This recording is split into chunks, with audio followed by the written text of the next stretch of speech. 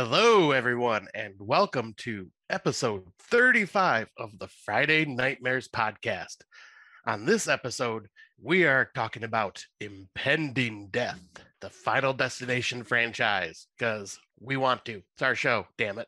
But, anyways, I am one half of your hosting team, coming to you from Swartz Creek in the county of Genesee, in the state of Michigan, in the United States of America, in the North American continent, in the Western Hemisphere, on the planet Earth, in the Milky Way galaxy, Mr. Smoke Show Crawford.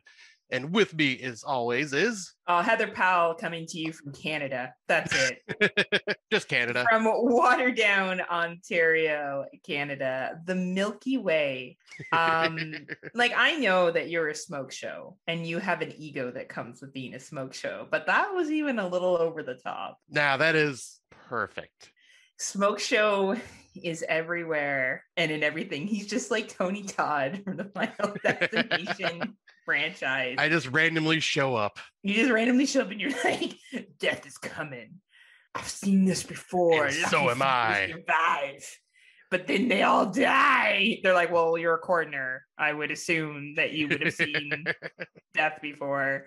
Thank you. No, I, I fucking love these movies. It's such like people use the term guilty pleasure and Final Destination films are my guilty pleasure. I love I love all five. I I think they're great. And they're such yeah. easy watches. Yeah, I was so excited when we decided to do this episode because yeah, I've always been a fan of these movies. Like you know there's some hit or mm-hmm. misses with the franchise as a whole like with like some of these sequels but they're still How dare you speak that way about final destination? they're still fun though. That's the thing like even even the ones that are bad are just still fun and entertaining. Like i was telling you like i i started watching them on monday and i'm like yeah i'm just gonna watch one and then do some editing. Next thing you know i'm on to part three already and i'm going well i didn't do any editing. Guess i should probably do that tomorrow. You're like edit fuck that shit. We got Final Destination movies. Right. I just I just jumped fucking head first into these. I'm like, yeah, I just I love it. And I've never watched them back to back to back like this before. So it was kind of neat because I was able to pick up other little things. Like I've been fantasizing that I'm gonna go somewhere and have a premonition and save everybody. But the problem is that then I die. So right? I kind of like, yeah, but fuck, I love these movies so much. They could make like 10, like some people love Fast and Furious films, hence why we're at like number 10. Yeah. If they could make 10 fucking Final Destination films, and I'd be like, take my fucking money. Like, it would just be like I, I could watch them again and again and again because even the worst worst one or the worst kill is still entertaining yeah and there's so many ways you could go with this franchise like it's just like it's something that can be repeated over and over and over again yeah you might get bored after a little while kind of like if you watched much like the, how like, people feel listening to our show right exactly but yeah like it's still just like there's plenty of ways like to kill people and there's plenty of ways to have these big event premonitions in the very beginning of the movies. Like we're going to talk about some in our out of the dark segments because we're going to kind of come up with our own ideas for one.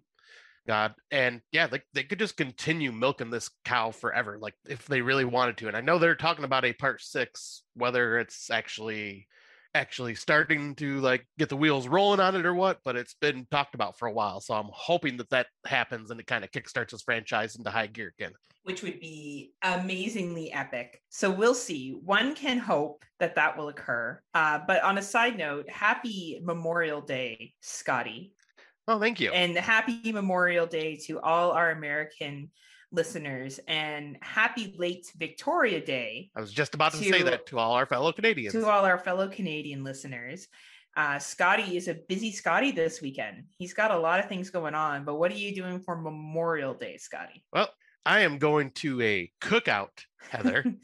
also known as a barbecue for everyone else in the world. and see, you know, the reason I call it a cookout is for the fact that, you know, a barbecue in my head is barbecue chicken, barbecued ribs, stuff with barbecue sauce. This is just like burgers, brats, hot dogs, and Did you say broads? brats? B R. Oh my god, I thought you said broads. I gotta put some broads Bro- on the barbie. Put, put some broads, broads out there, you know. You're like, it's like the like uh, the wrong turn. Yeah, exactly. We. Be careful, ladies. Don't wrong Scott, or you're gonna end up being a broad on the Barbie. That's right. Um, But uh, yeah, gonna be uh going to my cousin's house, and just because my cousin is one of my fellow Magic players, he's also gonna have a table set up in the garage for because all of all the Magic group is gonna be showing up. So he's gonna have a table set up in the garage in case we Man. feel like uh, playing Magic while we're there. We're gonna have a bonfire in the back. gonna have plenty of food. gonna have some drinks. Just gonna be an all day thing, and it's I'm, I just can't wait. It's gonna be a lot of fun because every one of us, which is freaking awesome to say this, every one of us are fully vaccinated. That's going to be at this party, Nice. so it's even nice. better. And yeah, I'm just I'm excited. It's just gonna be a lot of fun. Well, and it's a non-COVID. It's a COVID-free event. Yeah, COVID ain't welcome at this Memorial Day cookout. that's right. We said fuck you, COVID. That's Wow. right. And I was saying, hell, pretty much everything's going to be, well, not COVID free, but events will be happening here in Michigan very soon because uh, they Mhm. have, uh, our governor has announced on uh, June 1st, uh, everything will be able to open at its normal functioning hours again. Capacities will be uh, raised. And then by July 1st, the mask mandate will be gone. And holy crap, have events started just rolling out saying, Renfest happening in July, Renfest happening August, September, October, concert, concert, concert, concert. Like it, everything's just like we're open, let's go crazy. which is like, concerning in a way, but also hopeful. Um, we just got a news today. Now, Canada is caught up to the United States on first dose vaccines. nice. We just got caught up to you guys. We got shipments in. There was a delay in us getting shipments. And I found out this afternoon that every single Canadian will now have their second shot if they choose by the end of the summer.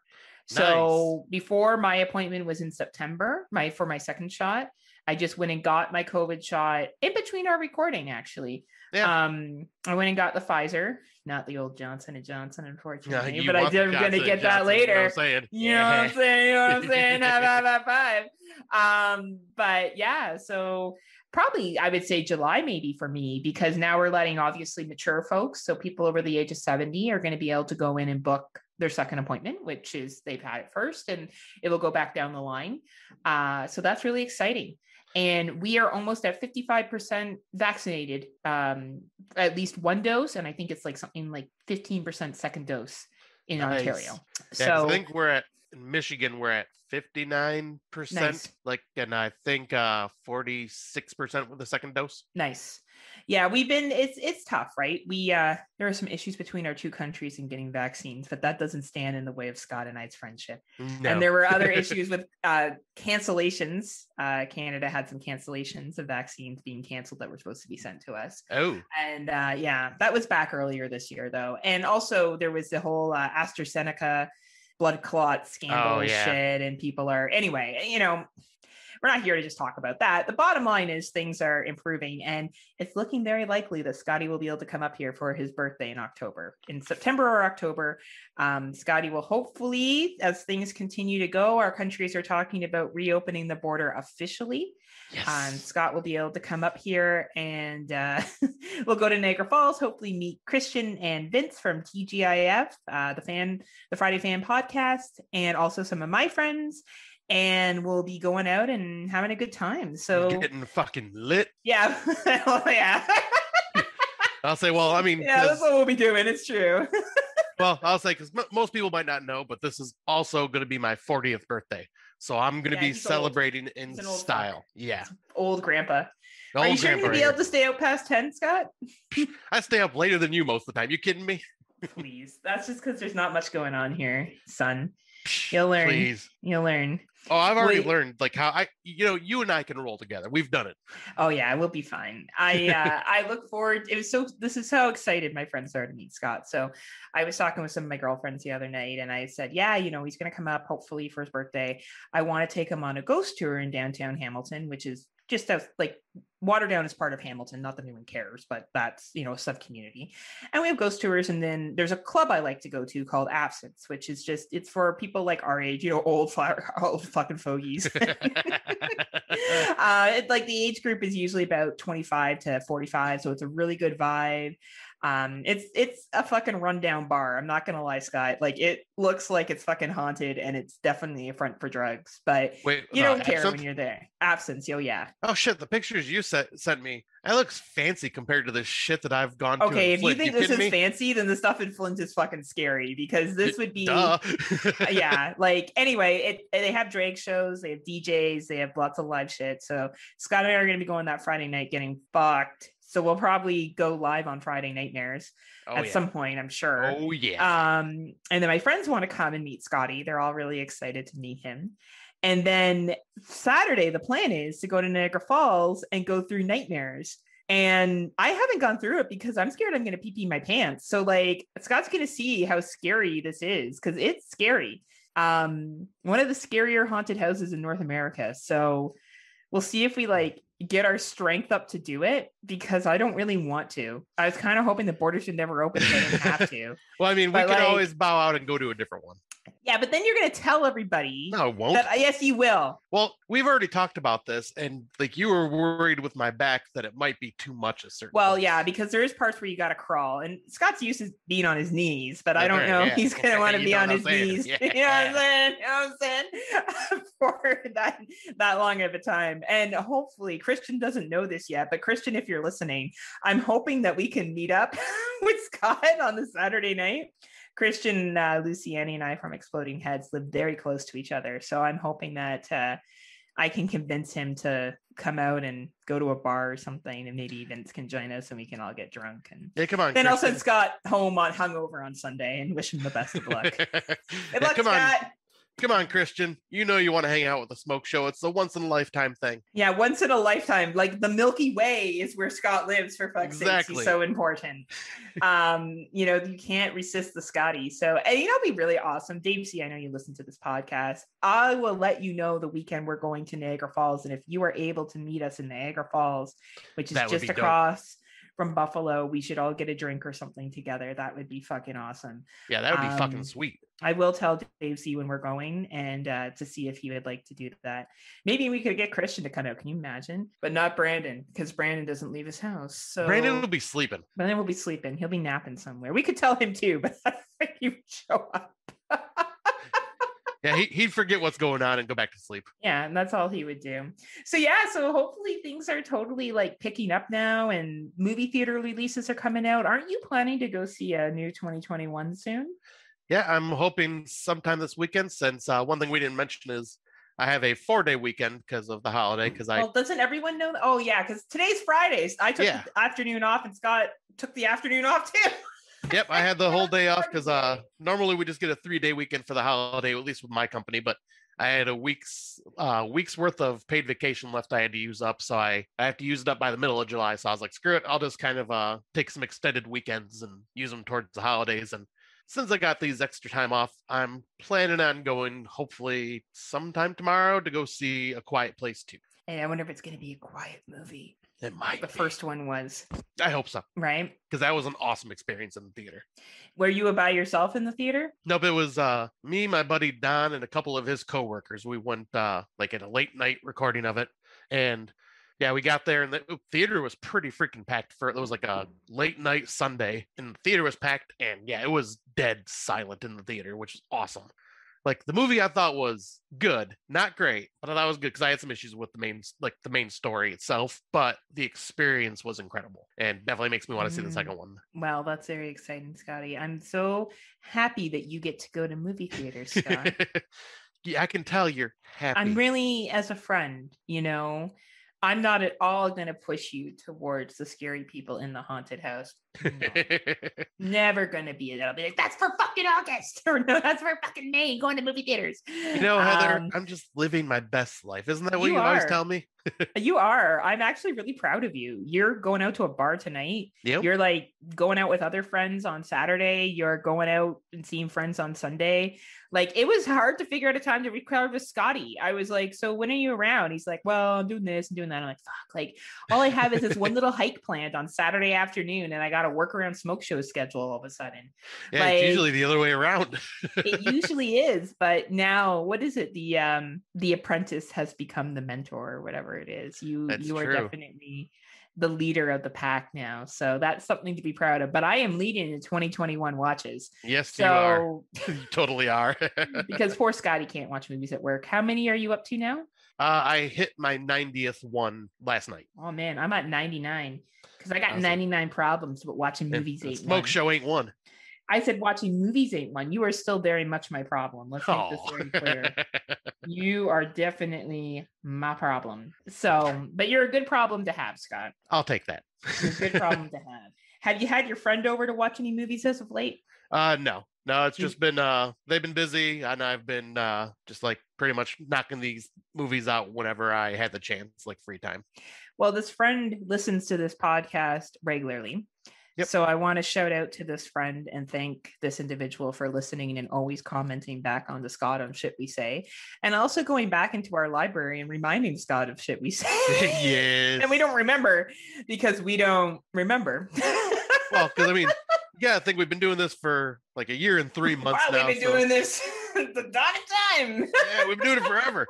But no, I mean, 35 episodes in, we tend to forget what we said when we said it and all. that. there's a lot that we've done. I mean, I think it's over like a hundred hours worth of like us Talking. over the like last year and a half. It's crazy. Can you imagine how much of that we could break down to me making fun of you? Oh God, probably at least like 70 hours of it. Well, and that's the quality, right? And then there's Exactly. Gary Hill who feels that you need to be defended, who we will bring on to his show. He will either be on our Legion Patreon special, which has been uh, released onto the Patreon network, is our Legion Patreon special with Jay Murph from uh, Kill the Cast on Top Five Yes. Uncomfortable Movies. That will be eventually released on our regular feed for now.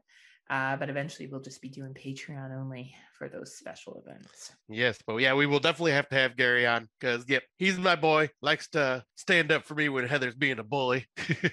Which is like a gets lot. my always gets my it's always sunny references that Heather just shakes her head at. It's better than Fireball. It's better than that, and it's better than. Hey guys, did you know one time I almost went pro playing magic? You're Let's the one that likes to bring this about up. that. Pardon? I said you're the one that brings this up all the time, though, not me. I know. I do it just to be a shithead. I know I don't you even know why you put up with me. Because I like the abuse. Yeah.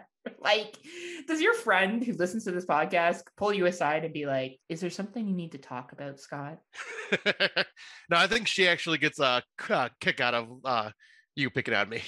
She so she thinks I'm funny. yes. She has good taste. Well, I'll, she I'll- also didn't like killer proms. I still feel really bad about that. That was hilarious. Man, what a shitty movie. Anyway, we were supposed to like move into our 2021 film, so let's do so.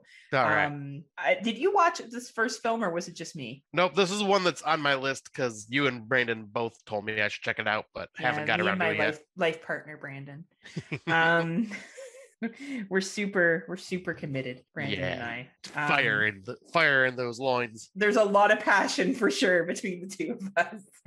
Um, so Oxygen is a movie that was released in 2021. It's a 100 minute runtime. It is available on the Netflix.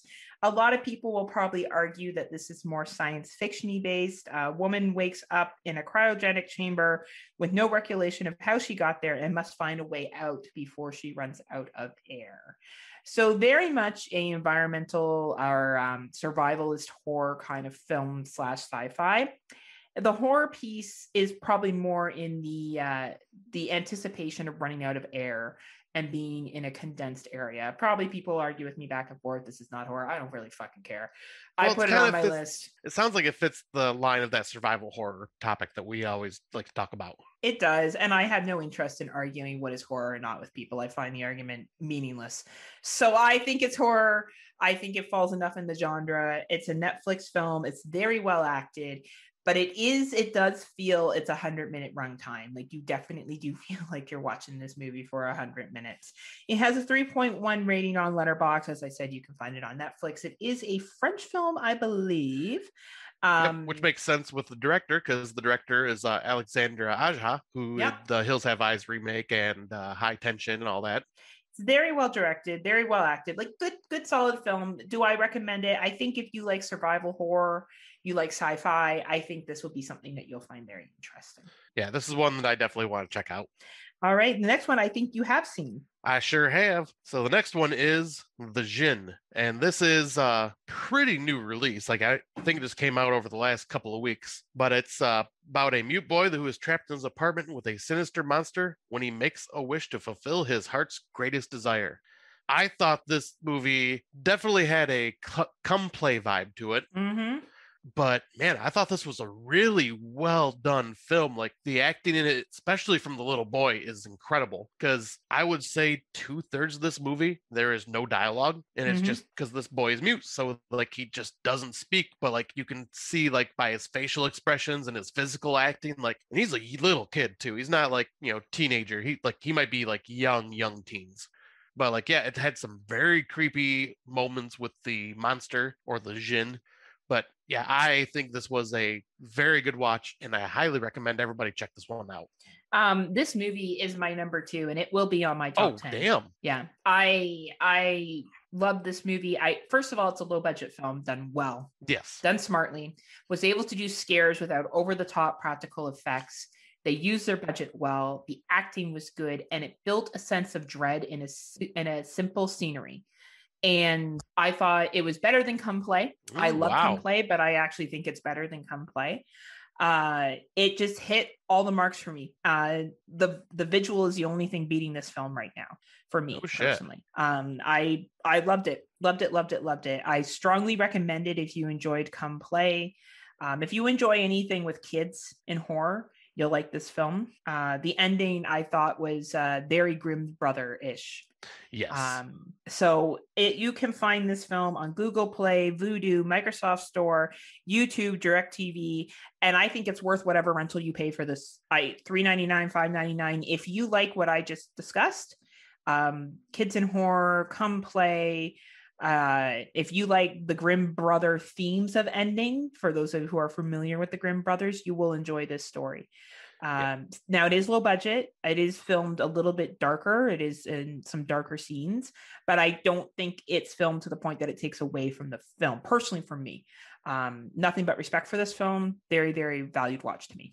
Yep, agreed. I because I think I, I'm I haven't really placed it in my list yet, but I think this will be in my like in my top 10 yeah it's, it's just such a high quality film yeah i really budget. dug this it will get an award too this may get an award for best low budget film like, yeah it was just super well done. Though the other one that's uh, competing with that is the uh, the Ranch was another really really oh, yeah. well done film. Um, and that might be in top twenty. I don't know if that will make top ten. But yeah, that's that Death Ranch, I think. Oh, sorry, Death Ranch. Yeah, yeah, yeah. The one about uh, the African American individuals that are fighting off the Ku Klux Klan members. Yep. Um, yeah, it was it was very very well done. So the next film, I only put it on here because I couldn't remember if we had talked about it or not. We have not. Like, so I can actually like I don't okay. remember a lot about it, so I won't be able to say too much except for my just thoughts in general. Okay, so I'll introduce it and I'll remember what I had to say, and then you can chime in if you need to.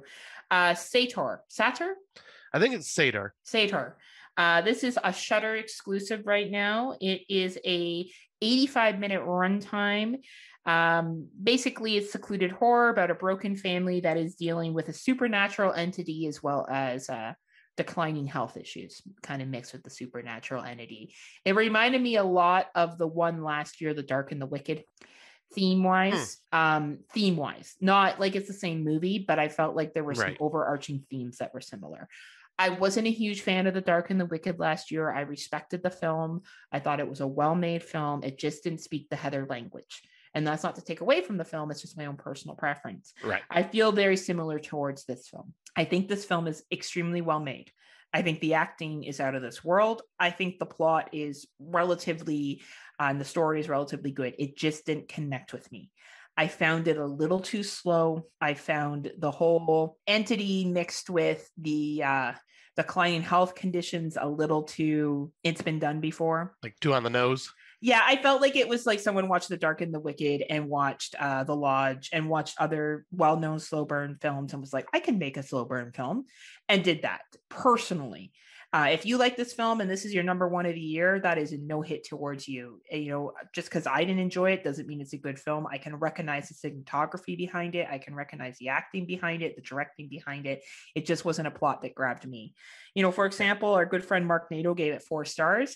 Mark Nato has a specific taste. So if your taste is similar to Mark Nato, you're going to really dig this film. Mark Nato from the Rotten Roundtable and the Horror Cast. Thoughts for you, Scotty? I thought this movie was boring as shit.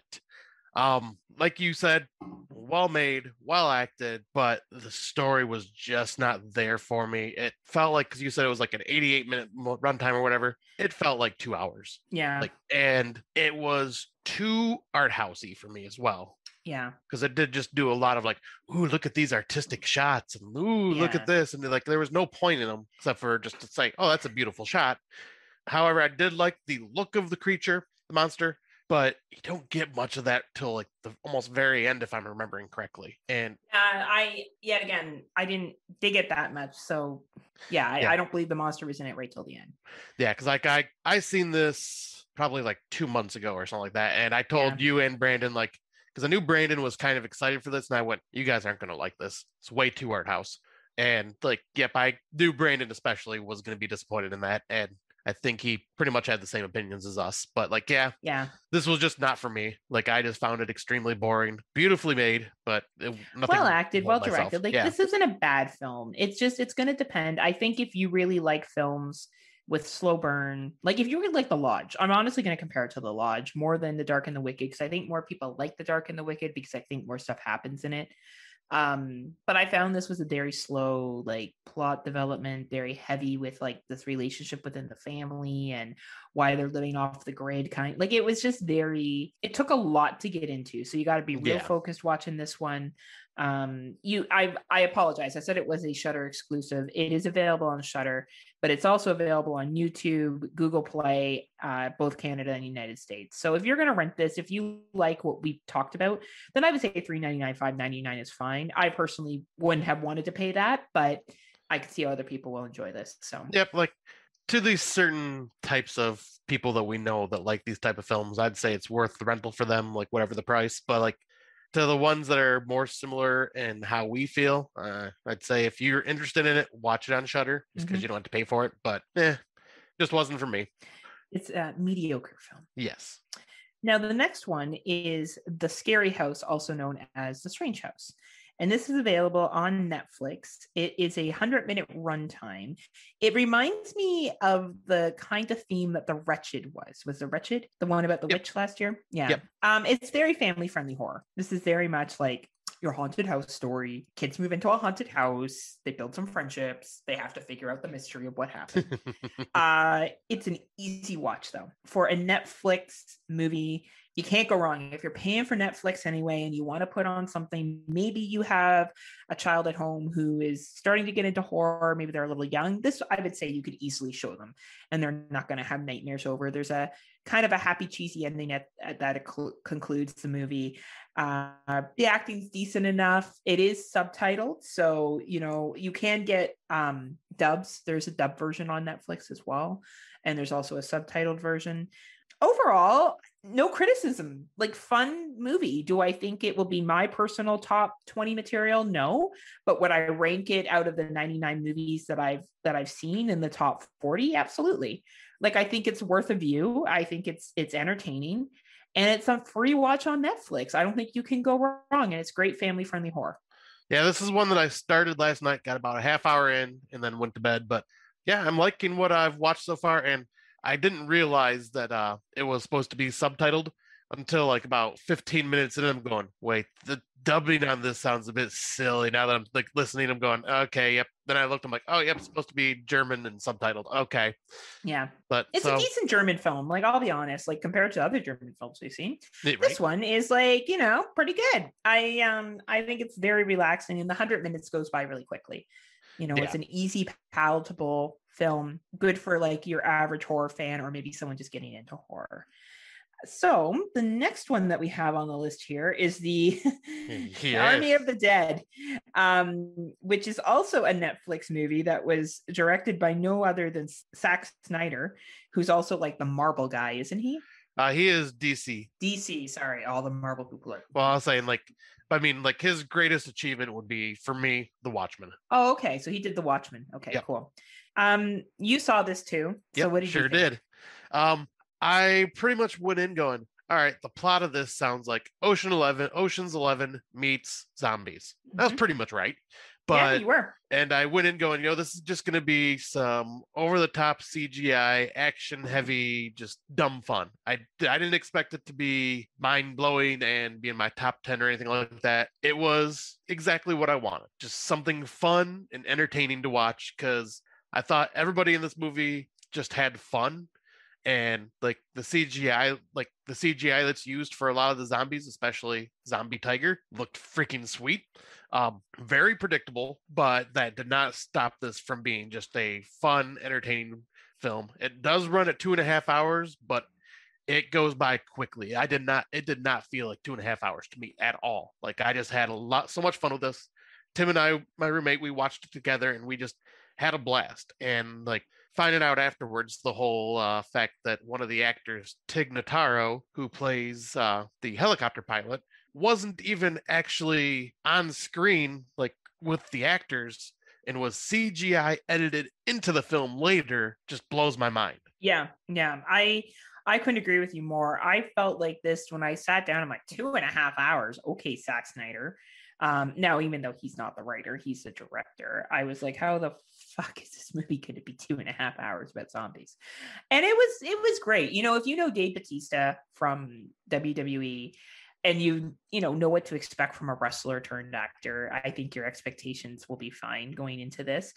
You're right, Scott. Very predictable, but very over the top. Like very, Yeah. very much like the explosions you would want to see, the fight scenes you would want to see. Like there's a scene in the casino where they're like kicking ass of the zombies, and it's great. Like it's Yeah. entertaining. And if you want to be entertained, this is a movie that you will enjoy. Um, I thought it did do something different for the zombie genre. I think it was interesting that they used Las Vegas. I I think the characters you yeah, you knew who was going to live, who was going to die, and I don't think the Oh. ending was overly shocking to anybody. But you know, walking into this, like any, I've seen some really nasty reviews, and I'm like, dude, like you know, not every film needs to be Saint Maud, okay?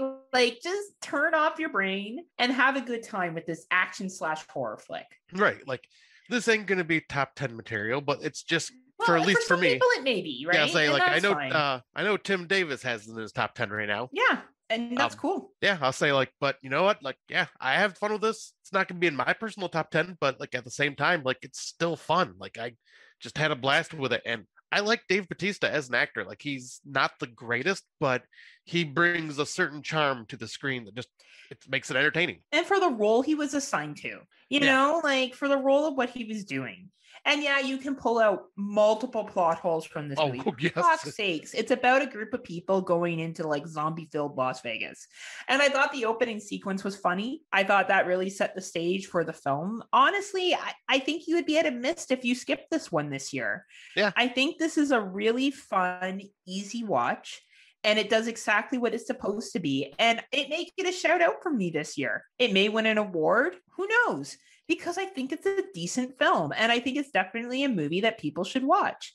Out of, I can tell you, out of all the movies I've watched this year, it's definitely in the top 30 when it comes to entertaining. Yeah, like absolutely. out of nine, out of almost 100 movies, this is definitely an entertaining film, and it's a free watch on Netflix. So if you're paying for Netflix or stealing someone else's Netflix, you have nothing to lose.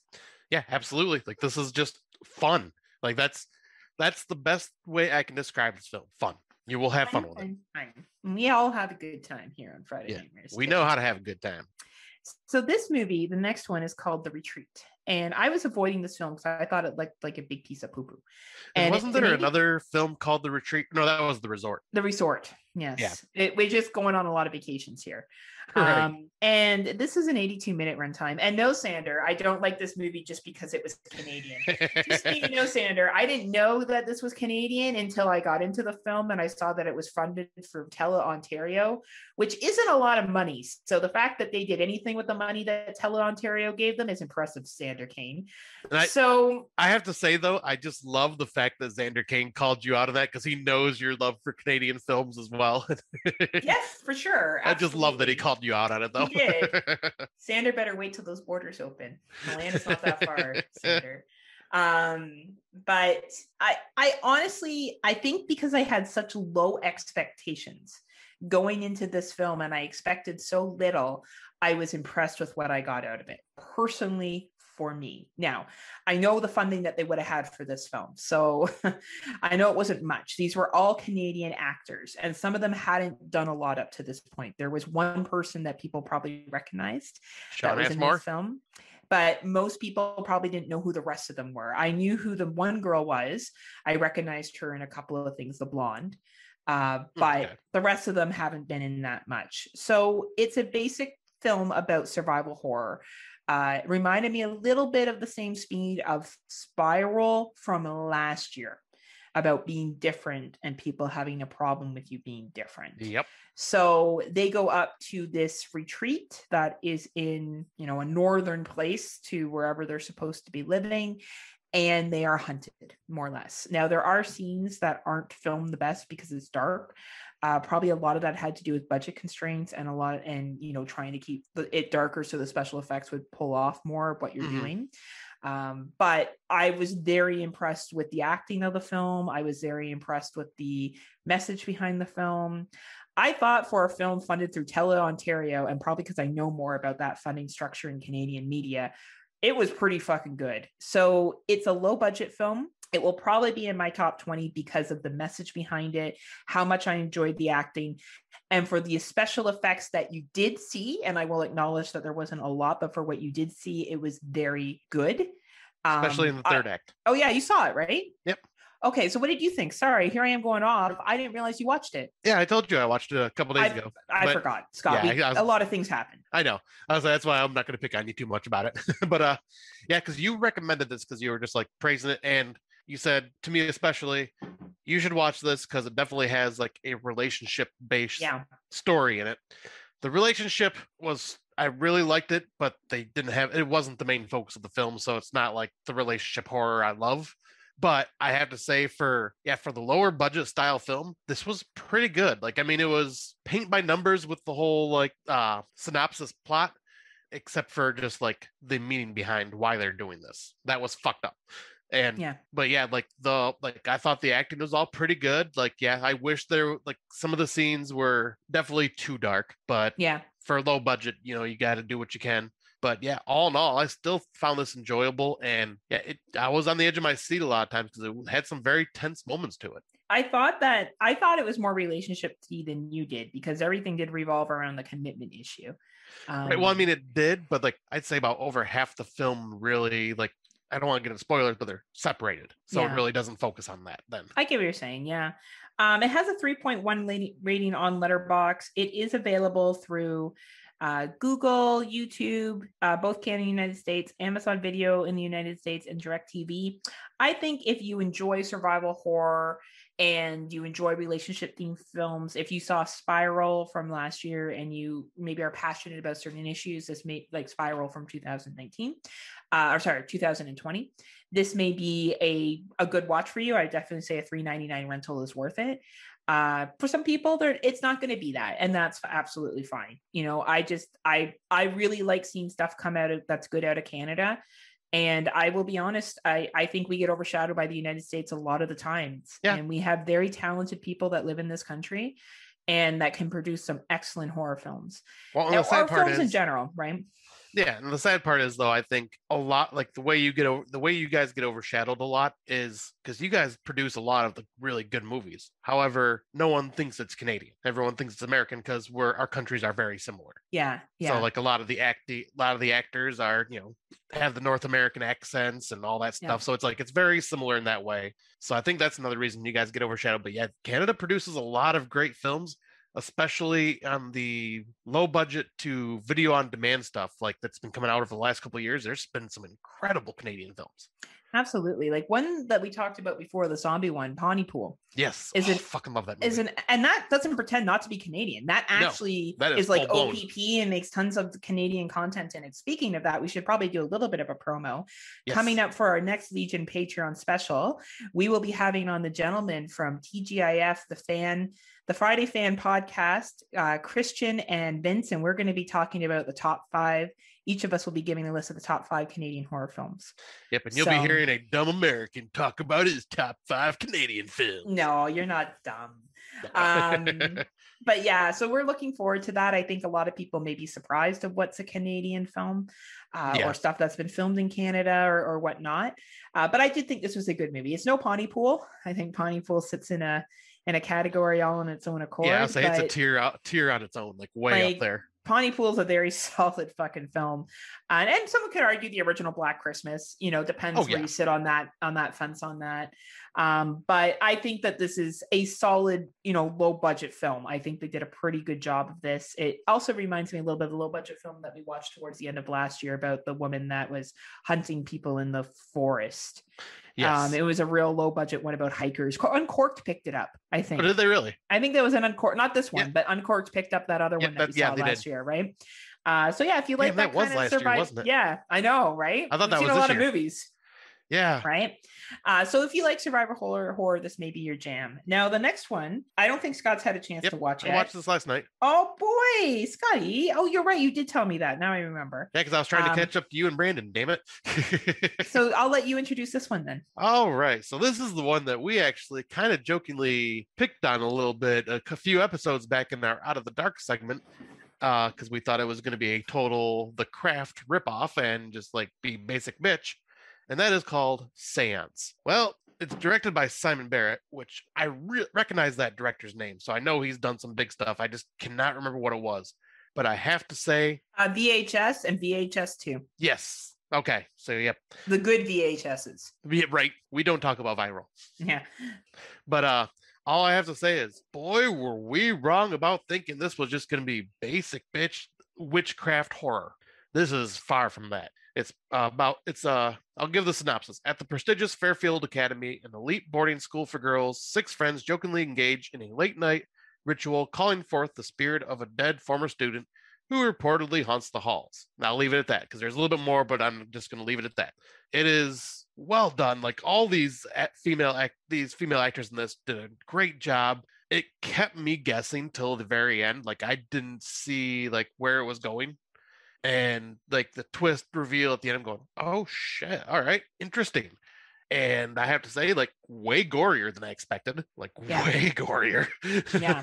Absolutely. but yeah, I just thought this was a all around damn good film. Like really good. Like maybe top 20 material for me. Like I, I really enjoyed it. 100%. I think this was a really good film. Definitely is up for award for me for top proga- protagonist.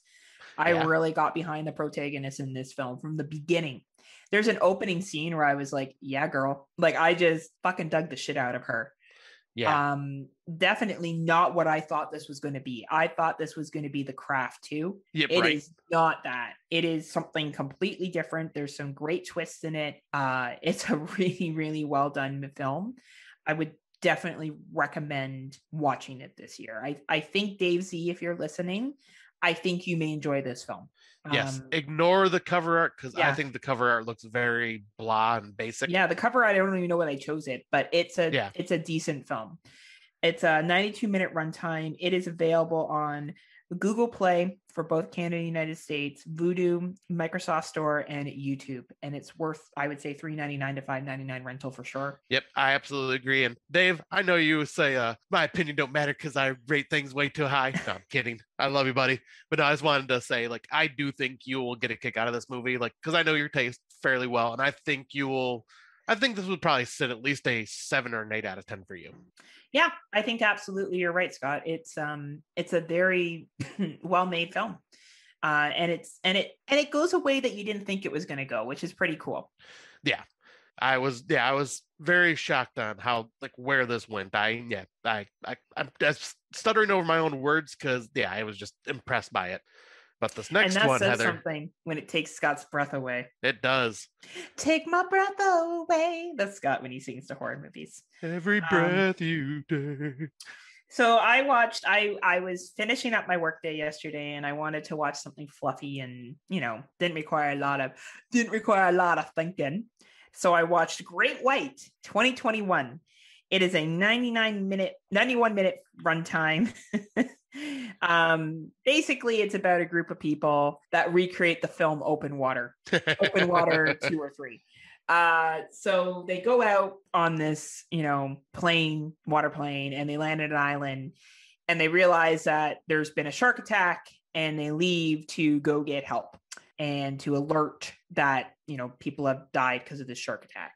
And then chaos ensues and it becomes like a survival horror film if you like shark films, um, maybe really not good shark films, you'll probably like this movie.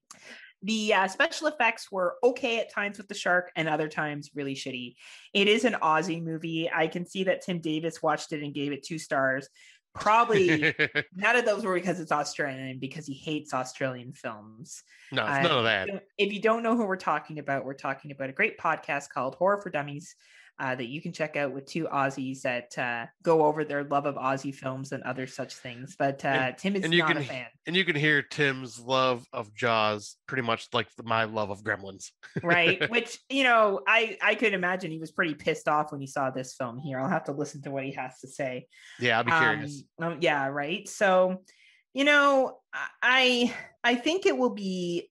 I, think if you're looking for something to just watch that is, you know, a fluffy shark, predictable paint by numbers film, this is a fine film to watch.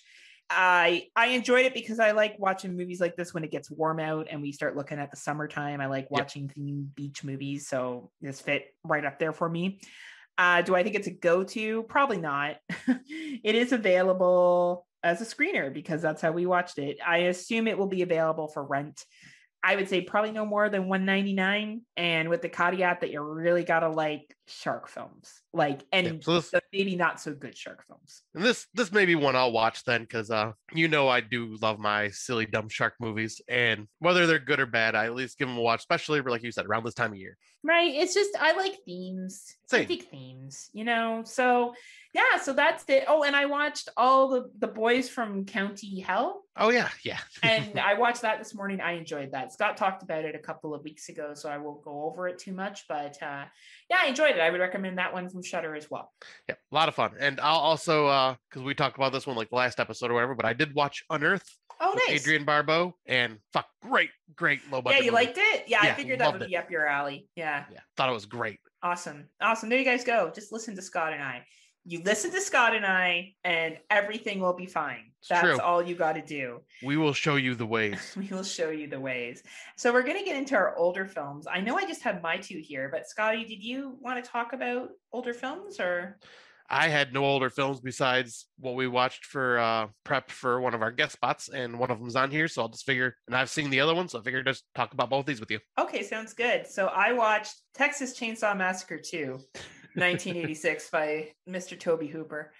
Um, So much coke.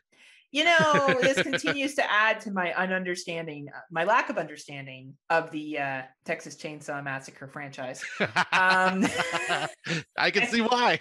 and not understanding what the fuck is happening. Uh, this one started off pretty solid. I uh, I dug the DJ Stretch. I I thought that that was a great character. I enjoyed Dennis Hopper's character, and I enjoyed uh, what's his name? Bill Moseley plays him. Oh, uh, Chop Top. Chop Top. Uh, I didn't get what Leatherface was supposed to be in this. Uh, they made him almost like this goofy, lovable, misunderstood, and horny. and horny guy. I, I I got I got where he was, but it just shifts so much Then when you watch like the more recent Texas Chainsaw Massacre movies and like the origin ones where he's not like like I feel like who Leatherface is is like 18 different personalities. No one's really stuck with a set personality for him. No, no, not like. Well, I mean, the one thing that this movie should like, like the poster art, especially, should just kind of mm. scream at you. Okay, this movie is just bananas. And that is how they recreate the Breakfast Club on their poster for Texas Chainsaw Massacre 2. That's like the VHS cover and everything like that. So it's like right there, it's just showing you we're not taking this seriously.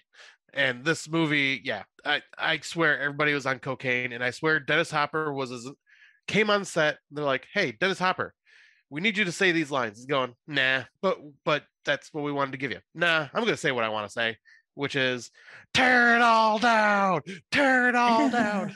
and that and they're, they're just like, all right, well, we're gonna film him in his own separate movie, and then we'll splice him into the movie somehow because this man's just gone off the fucking rails. like I, I liked his character at first, but then when Stretch brings him the proof that he needs, he doesn't want it. He doesn't want that tape recording. I was like, what the fuck?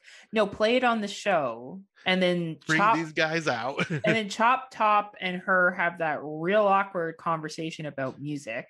Yep, him and his Sonny Bono wig. right. And then the sexualized chainsaw scene. Like I was kind of digging it all till the last act where I was like, what the fuck is going on with this movie?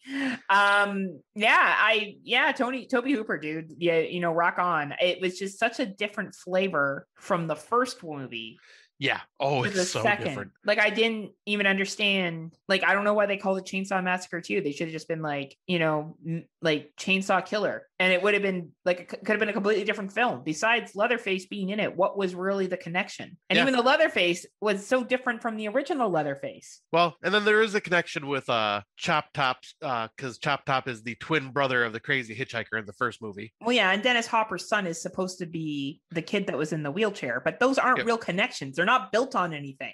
No, no. The movies just, don't even flow together. No, not at but all. Final like, Destination even... floats together better than these fucking films do, and it's different so people, except for in the second one than all those other movies.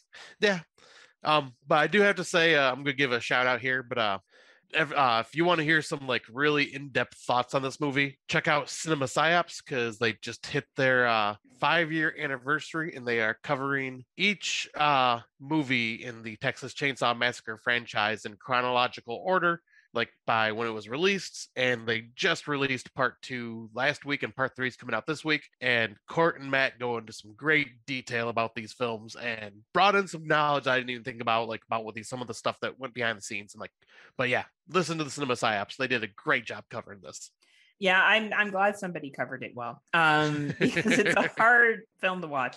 Uh entertaining though. I'll give it yeah. credit for that. It's and just so bananas. like just that's is, crazy. much like the next film we're going to talk about by tobe hooper uh eaten alive 1976 oh man. Uh we did this for the cemetery gates podcast uh, which is one of our favorite podcasts to listen to with Sander Kane and Android Virus. And um, yeah, I enjoyed it. Uh, it's basically about a killer crocodile that lives as a pet in this rundown hotel you know, for the lack of, you know, any other plot line. It's basically that. Yeah. And uh Robert Englund's in it, a young Robert Englund. Yep. I'm Buck and I'm here to fuck. I liked Buck a lot. I thought Buck was hilarious. Well, I'll say he kind of has a character turn because he's like a complete asshole, but then by the end you're like, oh no, oh no, don't die. Oh Buck, oh, I'm being get the fuck. Oh Buck. Right, Buck. Oh, Buck. Oh, oh the fuck. Buck. Uh, it, it was it was fine. Um I I thought it was an interesting 1976 film. I think it definitely was like I feel like in the 70s they're all just like ah fuck throw this film together and we'll see what happens. like yeah, and I was I was gonna say since it's Tobe Hooper, I think this is his uh, second film right after Texas Chainsaw. No, and what then, a follow up, right? Yeah, and then I think he did Poltergeist and Texas Chainsaw Massacre too but it's kind of funny because you can kind of see like in Eaten Alive, it's a blend of both Texas Chainsaw 1 and Texas Chainsaw 2. Like it's yes got some of that dirty gringiness of the first one, and then the batshit craziness of the second one. This reminds me of a grindhouse film. Yes, oh, it absolutely is a grindhouse film. Right, like, and I and I just I I appreciated it for what it was. I definitely did not find it boring. I did find it interesting. Uh, but it's hard to follow. Like I find films like this, you're like, what, what, what? Okay, now, okay, why is someone acting like that? Why is that random line happening? Why is this randomly happening? And you're not quite sure who your main characters are going to be because there's just so many random fucking characters to show up. Like it's like having a party and like you sent out the invitation to two people or 10 people and then 50 fucking people show up and you're like, what? Like it's like that. Right. And I was gonna say, uh, especially when you were talking about this crazy characters, like why are they saying this acting like this? The family, like the husband that shows up with his daughter and his uh, wife, and just some of the things that he says, you're going, where the fuck is this coming from? What are you doing? Why? Why is any of this happening? Like I just, such, it's so nuts. right? It's just so fucking weird. But yeah, but, I like you. I had fun with it though, but it was just nuts. Mm. yeah, so that was that was my two older films that Scott has also seen because Scott doesn't watch a lot of movies anymore. Unfortunately, not. You know, he has to he has to work hard, and also he's a smoke show, and as a smoke show, there's a lot of smoke show commitments. True. I mean, right when you're when you're when you're smoking like me, just, just... where there's smoke, there's fire. where there's smoke, there's an extinguisher to put my ass out. and then uh, we'll break into what we've been listening to. Uh, Scott, did you you don't have a podcast listed here? I, I assume I, I do have one. About. I have one. I just forgot. I just didn't put it on here. Would you like to talk about it? Of course. That's what I say. I was, I was gonna. You want me to start then? Yes, you go ahead. All right. So the uh, podcast I was going to uh, bring to this uh, episode is a uh, new collaboration, or might be an old collaboration that's come back, but it's with Ricky Morgan and Court Psyops, and it's called Mental Rental. And it is on the Legion Patreon, and they're going to be doing this as a once a month show on the Legion Patreon uh, page. So hopefully, a little more incentive to get people to join this is a commentary style episode where they just watch different movies and go in depth with like the quality of the film, the transitions of the film, because they do like the Blu-rays and like they'll talk about what release they're watching and what version of it and this and that. The first episode they released on Patreon is over the film Rolling Thunder, which Heather and I had graciously had the chance to watch because of Android Rolling Virus Thunder. on It's Not Horror which brought the whole oh, show oh, to a depressive state to where we just did nothing but comedies after that. Nope. um, but yeah, Ricky Morgan and uh, Court Psyop, you know, they are huge fans of this uh, era of film and genre, and they just do an amazing job covering it. And I just wanted to bring it to the table to mention because you know this is the type of content we're getting for Legion Patreon now, and it's just it's great. We're gonna have all this new stuff to listen to, and I, I just love these uh, collaborations that are coming up now. And we are many. We are many. So mine is uh, more from the Parcast Network. and they keep coming up with new shows and I just keep fucking downloading them. but this one is called Superstitions. And it's a half an hour episodes and it goes over why certain things have become a superstition. So the first episode I listened to is on black cats oh, and nice. how black cats have been basically manipulated or um their image has been used by religious groups as something evil. Of that course. it actually at one time was seen as something positive and it's been shifted by i'm sure you can guess which faith mm, to christianity right to represent something or catholicism i should say yes so it's a really good short half an hour story so they do a little bit of background, then they tell kind of like a fable or a fairy tale about a situation with that superstition.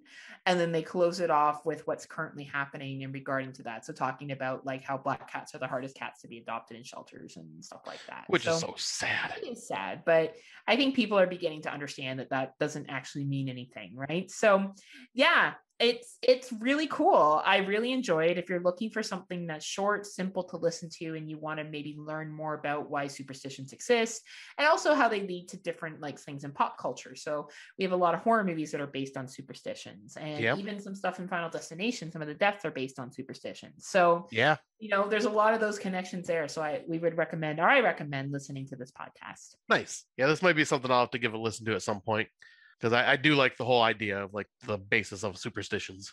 Baby superstition. I was I was gonna start busting out that like because I was gonna bust out that song at some point, but I was like superstitions, superstitious. Eh, I, I, I, I can fit it in. You're like I could do this because it's me and I'm a smoke show. And it's based, and I, and I just think of the movie The Thing because that movie plays or that song oh, plays in it. Very superstitious. You and John Carpenter and fucking Gremlins. I swear to God if John Carpenter made a Gremlins movie, mwah. I know you'd be like, it's fine because John Carpenter made it. Oh no, I I'm a critic of John Carpenter's for some films. Well, I'll say that because they're I, I love, a, but he is him and Stuart Gordon have probably the most filmography that I love. Is that right? Which one of John Carpenter's do you not like?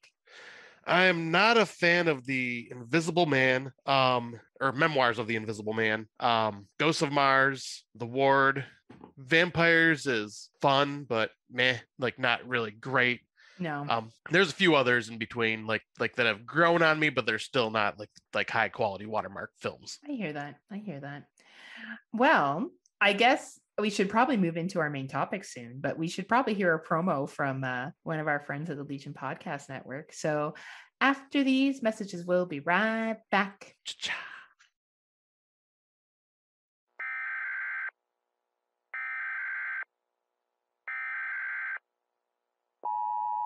This is a test of the emergency podcasting system. Listen to the Psychosemantic Podcast. Politics, movies, and political movies. Find us on Facebook, iTunes, Stitcher, LegionPodcasts.com. The Psychosemantic Podcast.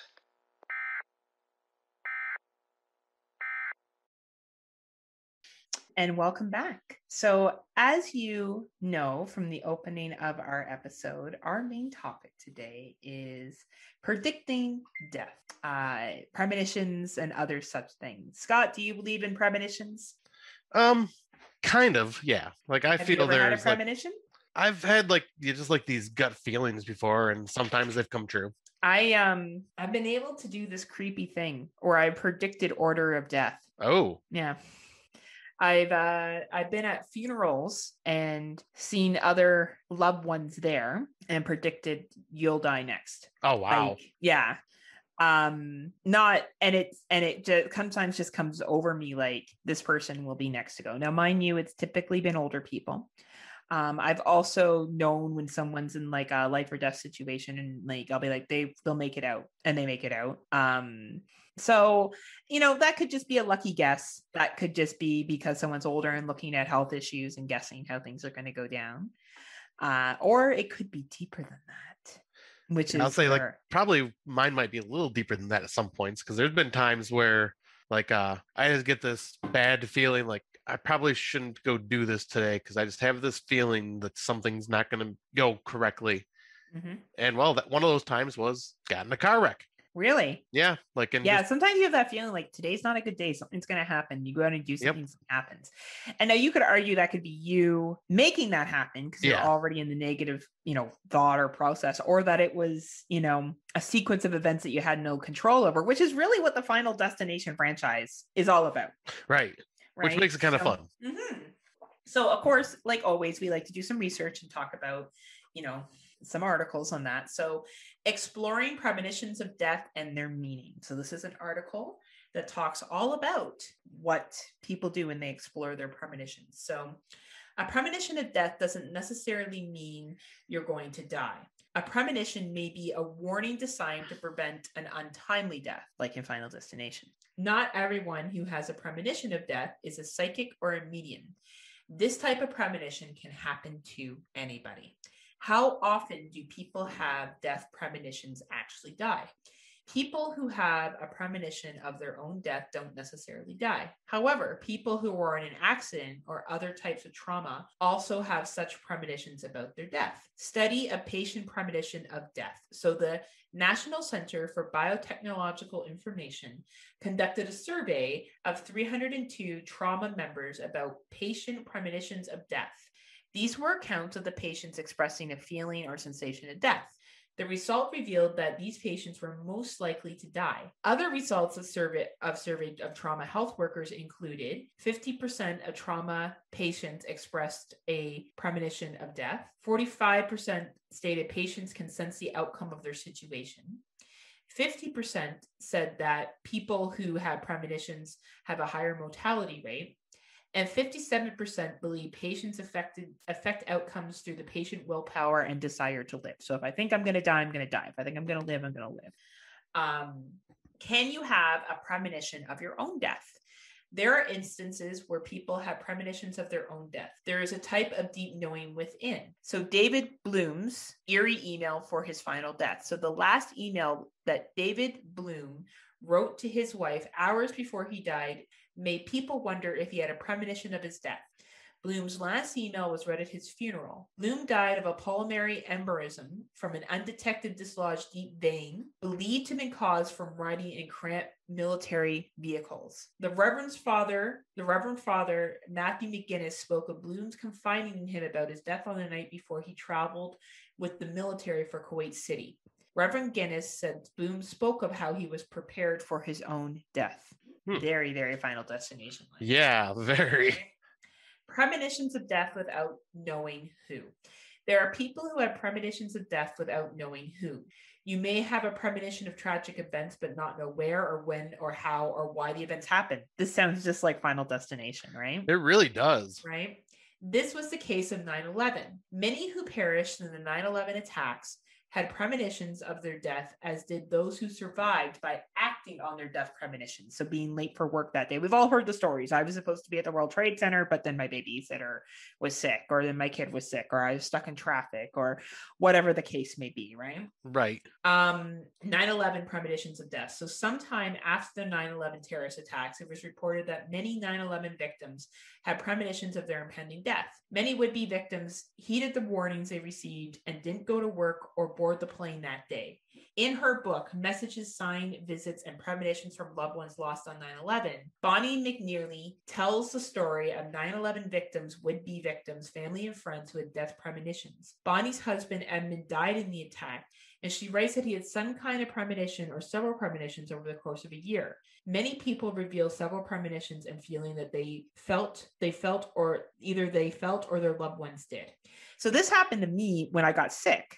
I always knew I was going to be sick and hospitalized one day. Always, always, always, always, Really? always. Yeah. I knew that something was going to happen in my 30s and that I was going to be, you know, basically on my deathbed. And I did almost die. My potassium levels dropped so low that when I was in the ER and they rushed me into the cardiac unit, they said, We don't know how your heart's beating right now. It's Yeah, like, that's crazy. there's no reason you should be alive and you know they're they're in, they're injecting me with potassium they're feeding me potassium anything they can to get my potassium levels up i'm in the cardiac unit with a bunch of old men and me um Wow. and eventually the nurse comes around and goes do you work out and i said yeah i i run i do stuff she's like that's what kept your heart going No shit. because my heart was strong enough to keep beating with low levels of potassium it was at 2.9 you're supposed to be in serious danger after 3.1 That's like, 'cause I remember you telling me the story when we first Yeah. met, but wow, I didn't know about that part. And I always knew that would happen. I always knew I would get sick. And I felt like once I crossed past that, I stopped worrying about it. It's like I always knew I'd be married and divorced. Always knew that.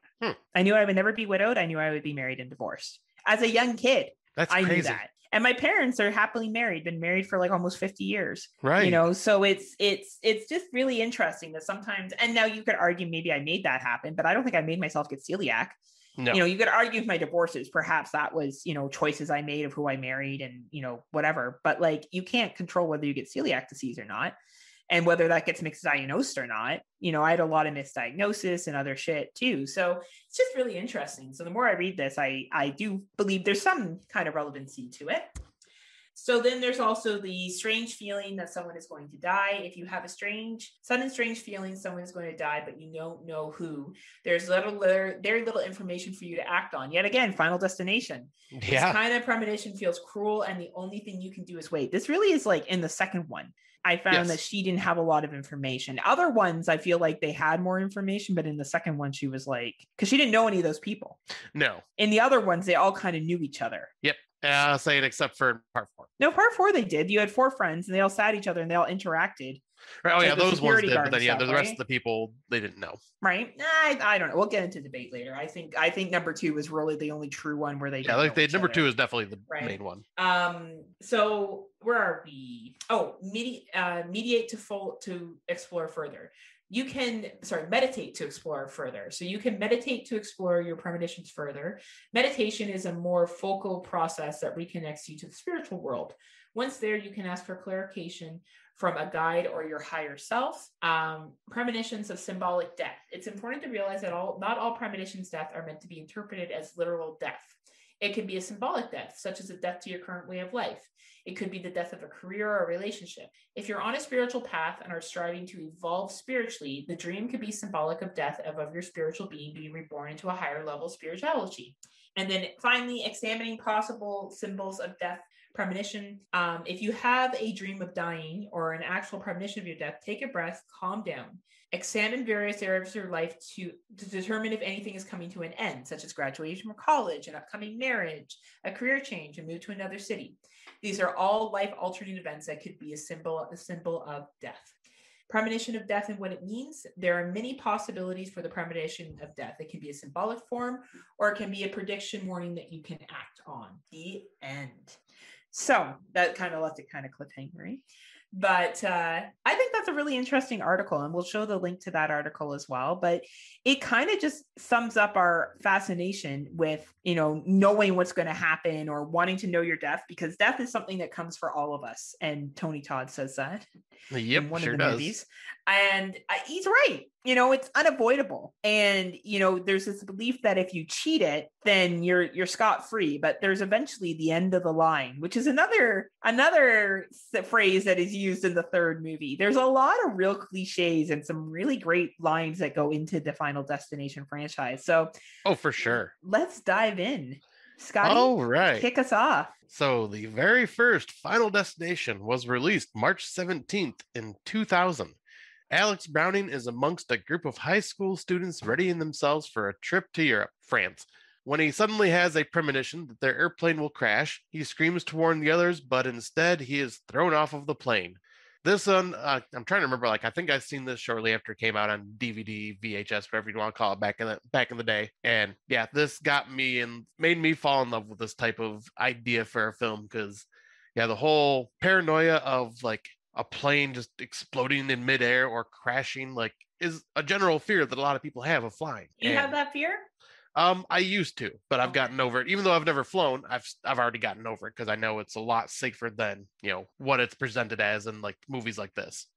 But uh, yeah, like I really do love the idea, like, and you get this in every one of the films. But I love the idea of you know, even though he saves everybody, like all his friends and people that are around him, like you know it's the event still happens but i what i like is you still get to see what would have happened if him and all of his friends stayed on board and you get to witness all these horrific deaths and kind of cool scenarios but at the same time kind of haunting images as we'll get into with some of the later films. Um but i really like the idea of this whole premonition and because yeah they all all these kind of work off of base of a inner fear for some person or another. And I think it's just really cool. And then the whole concept I thought was very unique, especially for the time of death has a design and Yeah. will come for you after, like, if you have somehow screwed up his plans, death itself will come for you and everyone else again. He will just come full circle and come back for you. I love that idea. I think it's funny that you used a male pronoun, I, you know, I'll say like, I didn't even realize it, yeah, right? And I think I would use a male pronoun too. I think it's because we see women as life givers, yes, right? And I, and I just think that's interesting, right? Like, um, but I think, and it's presented as a male. We do believe that that. You know, it's the aggressor, right? Which is death in this. And even though death is unavoidable, uh we see a bunch of like little uh, what do they call them? Easter eggs leading up to alex actually going on the plane of little things happening the flight board acting all fucked up. Um when they're boarding the plane he switches seats and the vision that he has of what happens. And there's a gentleman that obviously has a cerebral cerebral palsy that's sitting in the front seat of the plane and i really felt for that character. Oh, i know same. that character isn't even doesn't even have a main part but I thought it would be terrifying enough to be of, you know, aware of what's going on. I can't imagine how it would be feeling to have absolutely no control and then not being able to explain to somebody what's happening. right. Um and that and taking off like taxiing is what they call it is is the most is the most dangerous part of flying. I remember I was flying with my ex-husband out of Vegas years ago and uh it was really windy and the plane had a hard time getting up so it was doing this thing where it was kind of jolting a little bit. And he looks out, he's like, man, look at the look at those wings. Like the plane's having a hard time. And if you've seen this fucking movie and you know anything about flying, you don't want to be looking out the window at the wing. Okay. No, no. and I like fucking lost it on him. And I was like, you need to stop because I and that after that point, I've now had a fear of taxiing and landing. It now Oh, me okay. Um, because it was that feeling, and and we got it, and they got it up just fine. Like plane crashes are not normal; they don't happen frequently. Uh, but it was it was scary. Like I was scared. Um, and I think that this film does a really good job of playing on that fear. And I think Carter's reaction, who is the gentleman that uh, Devin Sawa's character gets into the fight with, is very realistic of how you would probably feel after living. You know, you're you're mad at this kid because you're like, I don't know you anything. I control my life. Blah blah blah blah blah. Because there's survival guilt that's presented very well by all of these characters, Yeah. particularly the teacher. Oh, absolutely. Because yeah, she she sends because it was a co-teacher thing, like, Mhm. and she sends the one that speaks French because, like they like I was saying, they're going to France, and she says they both get off the plane when this all happens, and she says one of us has to be on with the students that are still there.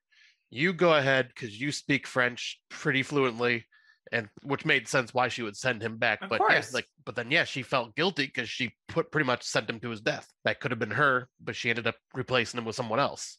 Right and i i think it's very normal that he like when devin sawa's character freaks out and hits uh hits billy hitchcock on his way out which i find really funny because i can't think of anything other than stifler every time i see him Yeah, he just in like well, I think of Stifler every time I see him, but in this film, he is literally everybody's punching bag. That poor guy, he really is right Carter, you dick. oh my gosh and you know and and and uh devin sawa's character alex yells out you know the plane's gonna blow up the plane's gonna blow up and of course the fbi agents like this is before september 11th this is a year Yeah. before that move that happened right and they're like so why do you think why did you say there was a bomb on the plane i don't know if they could have got away with making that movie No, this well, this movie, came a year later yeah, this movie probably would have been shelved and Yeah. pushed back multiple years, and then got released. right? So, you know, and that makes sense that the FBI would be questioning him. Like, where in the fifth one, it's like, all right, dude, like, what are you doing? Obviously, you know, this guy had nothing to do with what happened. Right. Um, this you kind of, you know, get a point, but the the acting of the FBI agents is painful, but that's a whole right. side. side thing. But I I really do enjoy the way that they play on the survivor's guilt, how one person will thank them. Um, like one person, like Claire, Clear River is like, thank you, I'm alive because of you. Um, you know, the other guy's mad at him. The teacher doesn't even want to be around him because it creeps him out. Billy's all like, Can you predict what's gonna happen? Am I gonna pass my driver's license? right. Am I gonna know, hook up with this chick? right? And then poor Todd loses his brother George because he gets off the plane with Alex. Yeah, and they the were twin dad has- brothers. right? And the dad has resentment towards Alex, which all this makes sense. This is Yeah. what would happen, you know, if your child died and there's only eight people that survived on a flight of probably like 140 people or whatever it was supposed to be. Um, or more, maybe it was more people on the plane. I can't remember the number of people on the plane now. It was a Boeing, a Boeing 747, so that's a big fucking plane Right. um like i i thought that they captured all that really good like we haven't even got to the premonitions of death yet i think they just set up the scene for survivor's guilt and you know alex having these visions and then people being afraid of him afterwards because of what it meant like i think they set it up really well in this movie I completely agree. Like, uh, because like yeah, you even see like everyone like has a different reaction to Alex. Um, and then you see Alex, who has like probably the most survivor's guilt of them all, which like just becomes obsessive on why this plane did what it did and why he had this premonition, which that is one thing I did want to bring up, like as a question. Did these, like in all these movies, did the people, were they already somehow empathic or psychically linked before? Because how did the, everyone, like each person, get a premonition? Like, how, like, is there some, were they already born with these like innate abilities to have this premonition? Or was just this something that death just kind of accidentally let slip, like, oh, giving you a vision of what's going to happen? Well i think if we looked at the article we just read it could argue that different people have that ability to sense that. It depends on how open you are. Obviously, Alex was quote unquote open to it. Yeah, Um, That's true. Right. Which is how I think it's a fair argument. And I get you're trying to look for a logical thing that connects all of them. That would have been interesting if they went with that. Yeah. Uh, but I think the problem is that it was written, all the movies were written by different people. And James Wan only directed the first one, the third one, I think. oh, it wasn't James Wan. Um, yeah, it was. Yeah. oh, written? James- You, oh, you written it? No, directed directed by James Wan. Wait, what? Yeah. That wasn't who showed up when I looked it up earlier. Oh, James Wong. I thought you said uh, James Wan from uh, the Conjuring universe. No, Wong. Wong. Oh, okay, Wong. okay. Sorry, I'm ba- my bad. I I misunderstood you. Right. So I, he directed a couple of them. Yep, he did the Um, first and the third one, and then there was the guy that did the second one, also directed the fourth one, which huge letdown. But uh, and then part Yeah. five was somebody completely different. Right. So I, I think that maybe that would have been better connected if there was more of that kind of connection throughout it. Uh, but there wasn't, and that's okay. That happens. So when we look at Final Destination, what what deaths stand out to you? Um, the one that always stood out to me is uh Todd's death because that one feels like the most realistic and uncomfortable to watch. Just watching Mhm. someone like slip, fall, and like pretty much just hang himself because the camera pretty much like focuses right on his face and it shows like his eyes going bloodshot and like his blood vessels popping and everything when he like really starts. Yeah, it's, it's a very realistic what it would look like to hang, right? yeah, like that one was like probably the one that really stood out for me. And I can't remember what was Alex's premonition of that. What did he see? Um, that was also one thing I was going to bring up, but uh, the premonition for this one was he didn't see it coming, like per se, but a magazine he was reading got shredded by the fan, and Todd's name got cut out of the paper and So we floated saw that it was knee. Todd's name was that he was going to be next. Yes, and then um the dad thinks it's Alex's fault that he felt so that Todd felt so guilty over George's death that he hung himself. And Alex is like then why was he I thought this was smart writing actually because he says then why was he wanting to go to the ball game with me next week? Now we all know that people Right. if they're serious kill, killing themselves they don't lead it on right? Um but I thought that was an interesting tie-in um and then that he was there and then that him and Clear had this like connection to each other and that they could now sense death as well that she could feel what he feels and that dark eerie sense is constantly always around them i thought that was really clever I, the death that i think is the most interesting in this one is the teachers because it's so drawn out yeah, and it's the most violent one of the all of them. Yeah, and I feel like it's because it was just, and I don't know why that one particularly got dragged out because Billy's death is quick. He gets decapitated. Yeah. Like it's not, it's like bam. And like the scene leading up to it where you think Carter is going to die is much longer and more intense with the with the train and you know he's like I can I control my destiny you know definitely trying to challenge what Alex has said to him and then the car doesn't start right Yeah. and I don't know if you've ever played Chicken on the railroad railroad tracks Oh hell no! Oh, okay. Of course, neither have I. Um, but That's just that. No, that's like an adrenaline junkie thing right there. Hell no! I ain't fucking Right. with train. right, absolutely not a Well, good it- decision. well, explains sure. a lot about you because I know you do have that adrenaline rush. I do. It's true.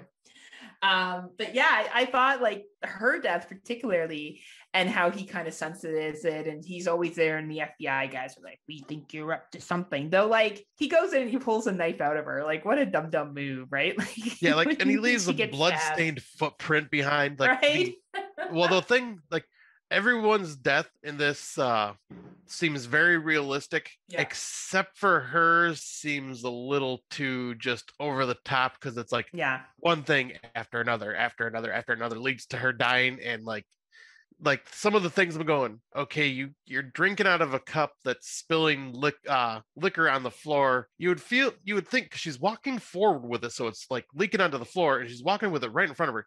You think that it would be splashing on her shirt, on her legs, or something like that. She would be like, "Oh, I'm getting wet. Why is this?"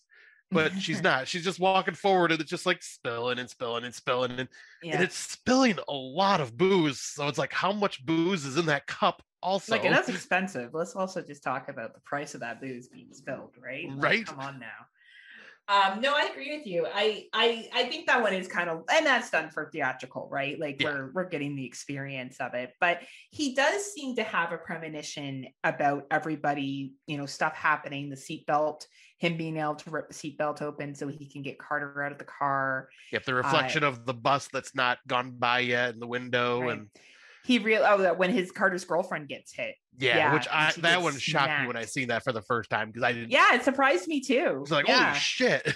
right you don't really see it coming this movie's 21 years old just Yeah. to just to put that out there and i think it still stands up today like it still is pretty entertaining uh and I have to say, uh, sorry, I didn't mean to interrupt. no no uh, please Uh, one thing I have to say about this, like out of all the films, I feel the premonitions in this one are probably the best, best premonitions because Yeah. it's very subtle.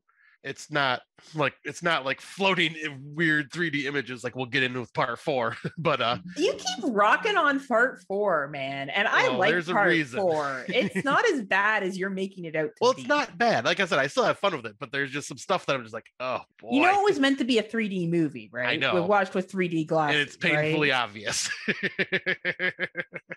anyway, we still got to finish a couple Yes. others before we get to our part four debate. Um, I think the ending scene is great here, where he he sees clearer and clearer. She manages to outsmart Death pretty good with electrical shit, right? Like she manages to kind of do. She gets in the like she makes a lot of smart decisions, and he gets there and he says, "I'll always be." There was a lot of like, you know, I'll always be with you. I got to do this. You know, and he dies but comes back. They're able to give him CPR and he's able to be resuscitated and comes back and we have they finally get to paris um carter alex and clear. And they kind of have this like moment in the cafe of we're doing this for everyone that couldn't be here which is very much something i think people would do who survive something like this. Yeah, uh, try to get past their fears, all that kind of stuff. And then, of course, you know, Alex is like, what if, you know, we go back to the premonitions, which, you know, is what if we never really got out of the way? What if this was, we were supposed to be here now? What if this was supposed to happen?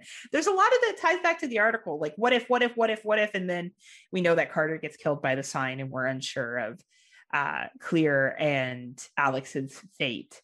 So I Yeah. think for premonitions, this movie hit it on the hammer. Survivor guilt, the death scenes were cool. Some of them were more over the top than others. The characters were all well known. I, I looked up the guy Carter, and he was in a lot of teeny bopper shows at the time. You had Devin Sawa, you had uh, uh, Uh, what's her name, Ali Larter. yeah, Ali Larter, yep. Um, you know, you had a lot of well-known people that were in Sean this, William like, Scott. like Tony Todd.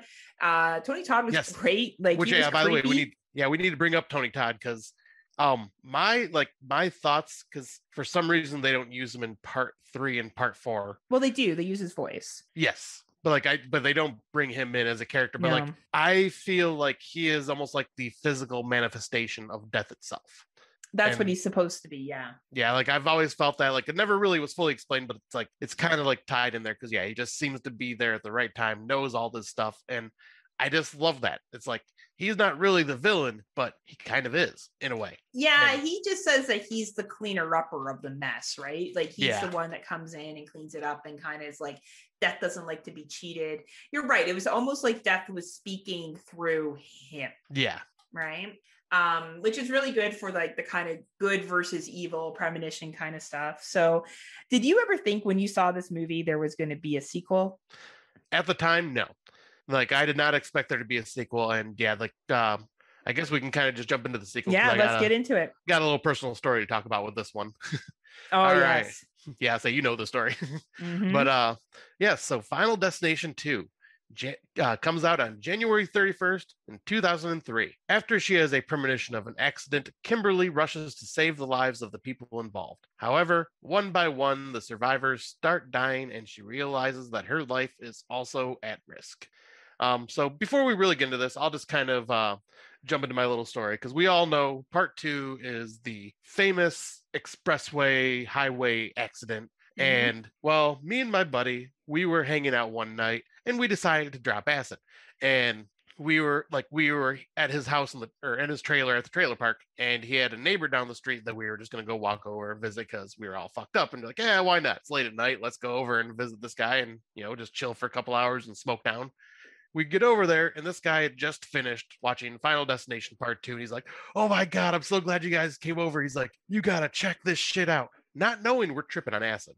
He decides to show us every single death in Final Destination 2, starting with the expressway, fast forwards to when everybody gets picked off one by one, and just just shows us the death scenes. Doesn't like we don't sit down and watch the whole movie. He just shows us the death scenes.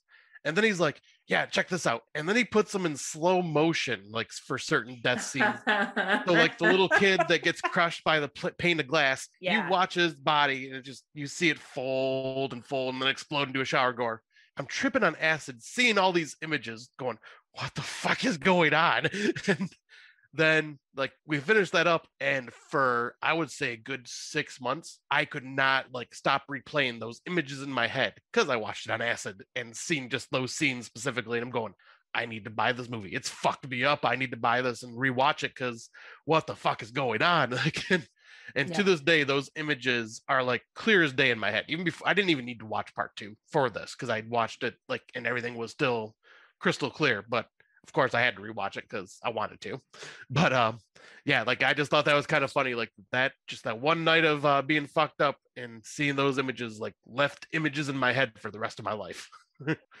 but yep, yep, yep. yeah, this one used to be my all-time favorite of the franchise. Um, rewatching it, I have a different favorite now, but we'll get to that Oh, later. Okay. Okay. But um, yeah, I really dig this one because once again, like especially the whole premonition of something's wrong, need to f- start. Uh, Kimberly starts freaking out before she even gets on the expressway and does one of the most what I would call selfless acts ever, which is throw her car sideways onto the overpass, blocking anybody else from getting past her. Yeah, Which- she was definitely, if you look at all of the ones, she did the most impactful thing to stop the premonition that she saw from happening. Yeah. Because Right. that because that premonition that uh, once again like this premonition was extremely realistic and hence why we see the meme now of like the log truck driving down the road and everyone on the side of the log truck instead of behind it going yep these people have seen final destination 2 it's true. Right? And i think that it was something that could happen and does happen. You know i've talked about my experience on the show before getting hit by the two by four in my car uh, when i was driving on the freeway slash highway and and having glass shatter all over me. And if it wasn't Right. for wearing sunglasses and to this day i have yet to understand how i kept that car in control at 110 kilometers 20 kilometers or whatever that is in miles 80 85 miles an hour and not cause a pile up to this day. Yeah i am Um, very impressed by that. I don't know how I did that uh, because it was, I think I was just in shock and maybe I thought I didn't want to make things worse. I don't know. I was able to logic it out pretty quickly, I guess. Um, but yeah, it does happen. And I think her making that move shows, you know, she was probably one of the few characters that's had a premonition and really was able to do something impactful to stop it yes and uh with strangers all complete strangers like and this is where we'll get into more of a debate about the fourth one they had no interaction with each other until they went to the police station okay yep the okay, only yeah. interaction they had with each other was the cop and kimberly yes that is right? very true yeah um and what i thought was interesting about the second one is they reversed the order kimberly and her friends were supposed to die last and she gets out of the car she's talking to the cop her friends get killed she lives so it starts working backwards which by the way that scene is just heartbreaking It is. And I didn't see that coming. You really think that these kids, because you get, and I'll give the writers credit, you think that these are going to be our main characters, yeah right? Because of what happened in the first film. And this film takes it in a whole other direction. And the interesting thing on Kimberly's alarm clock at the beginning, um, or is it alarm clock or VCR clock? It it switches to like 180 yes. Um right? So or vcr it so when she's watching the thing about the year anniversary of flight 180 yep so this does a good job of tying into that Yep, and it also like when uh, they're on the expressway, she looks over and sees on the expressway sign construction on I one eighty or whatever, and yeah. like there is a lot of references to Flight one eighty throughout all of this, which just is a perfect tie-in to the first film. right? And i i don't know why they didn't bring devin sawa back. Maybe he didn't want to come back. They felt that ali larter would be a better character to come back. Maybe she was the one they could get. Who knows? Right. um but i do find it interesting that they all go back to the police station and like you know they're all kind of like the cop has been the one that has done some research on this and and he's like yeah this is what happened to all these people and like the one dude's like this is fucking bullshit like this isn't a thing and they all leave they all peace And when she has these premonitions, she doesn't know who these people are. Yeah. Like she has no idea. Like the guy that won the lottery, there's no way she could have fucking prevented what happened to him. right. Well, Um, that's the one thing on this one too. Like I um like with her premonitions, the clues are just so vague. Like mhm. like that she because she just uh in this one she gets images like that just she almost has like these weird like flashbacks images playing in her mind Mhm. it's Mhm. not like little clues like in the like out in the world like uh devin sawa's character scene it's just like yeah. these just flash in her head and like they are just so vague like it's like for movie's sake obviously she, she's able to put some of them together but like every one of them like she's either wrong or like goes to the wrong person or something happens like and it doesn't save anybody because yeah the images are just so vague to her And I think it's different from the first one where it was all people that Alex had access to or knew. yes He knew in some shape or form. She doesn't know who any of these fucking people are. Like they basically met at the police station and then they fucking pieced, right? So I think that him dying, the lottery winner dying first, or oh my god it's that's a great scene. Like and the and the chicks calling him and stuff. Like it's it's really well done. And what gets him, like she sees eye or something like that. Oh no, you see eye on the fridge yes. Um right? That we all have small little premonitions which ali larter's character talks about later. There's signs that we can all see that something is amiss right? And we, that article talked about that as having that feeling or we talked about that. Today's not a good idea for me to go do this. Today's you know i'm not feeling right about doing this right now you know i don't think it's a good idea for me to go do this thing right And I- this movie really plays on that Yeah, and I wanted to bring up the lottery winner because two, uh, for one, he gets in the while he's while they're at the police station, they bring up how he's lucky. Like he was lucky he won the lottery, Mhm. and then this woman saved his life on this expressway that would killed him shortly after he got his money. yep And then you see all this shit happening to him. Like once again, this one goes over the top with like his especially kind of like the teachers, where it's just like one thing after another after another yeah but I think in this one it was just playing off the whole this this, this guy just keeps getting lucky, keeps getting lucky, like yeah because you know the Yeah. whole uh Yeah, I think you're right. The whole luck premonition, like the microwave, like he manages to get out of the apartment. This guy, against all odds, manages to get out of this fucking apartment before after like up. so many different things happen Right? to stop him. yeah, like it was like he was outsmarting death, outsmarting death, outsmarting death, and then he didn't. Right. Um, And I really like that with this character because like like it Yeah. obviously and it paid uh and it, I just liked it because it was like this guy is obviously a nasty ass slob because his apartment was disgusting. And because of that, causes a lot of the issues at that apartment in that apartment that almost kill him, because he like accidentally throws something and catches his trash on fire. mhm, mhm, something mhm. falls in his possibly rotten rice that he's getting ready to throw in the microwave. Oh man, that just- stuff was fucking gross, right? yeah, But no, you're right. And I think that, you know, and then she goes back to Clear, and Clear's like, fuck you. I don't want anything to do with you. And I think which that's I don't blame her.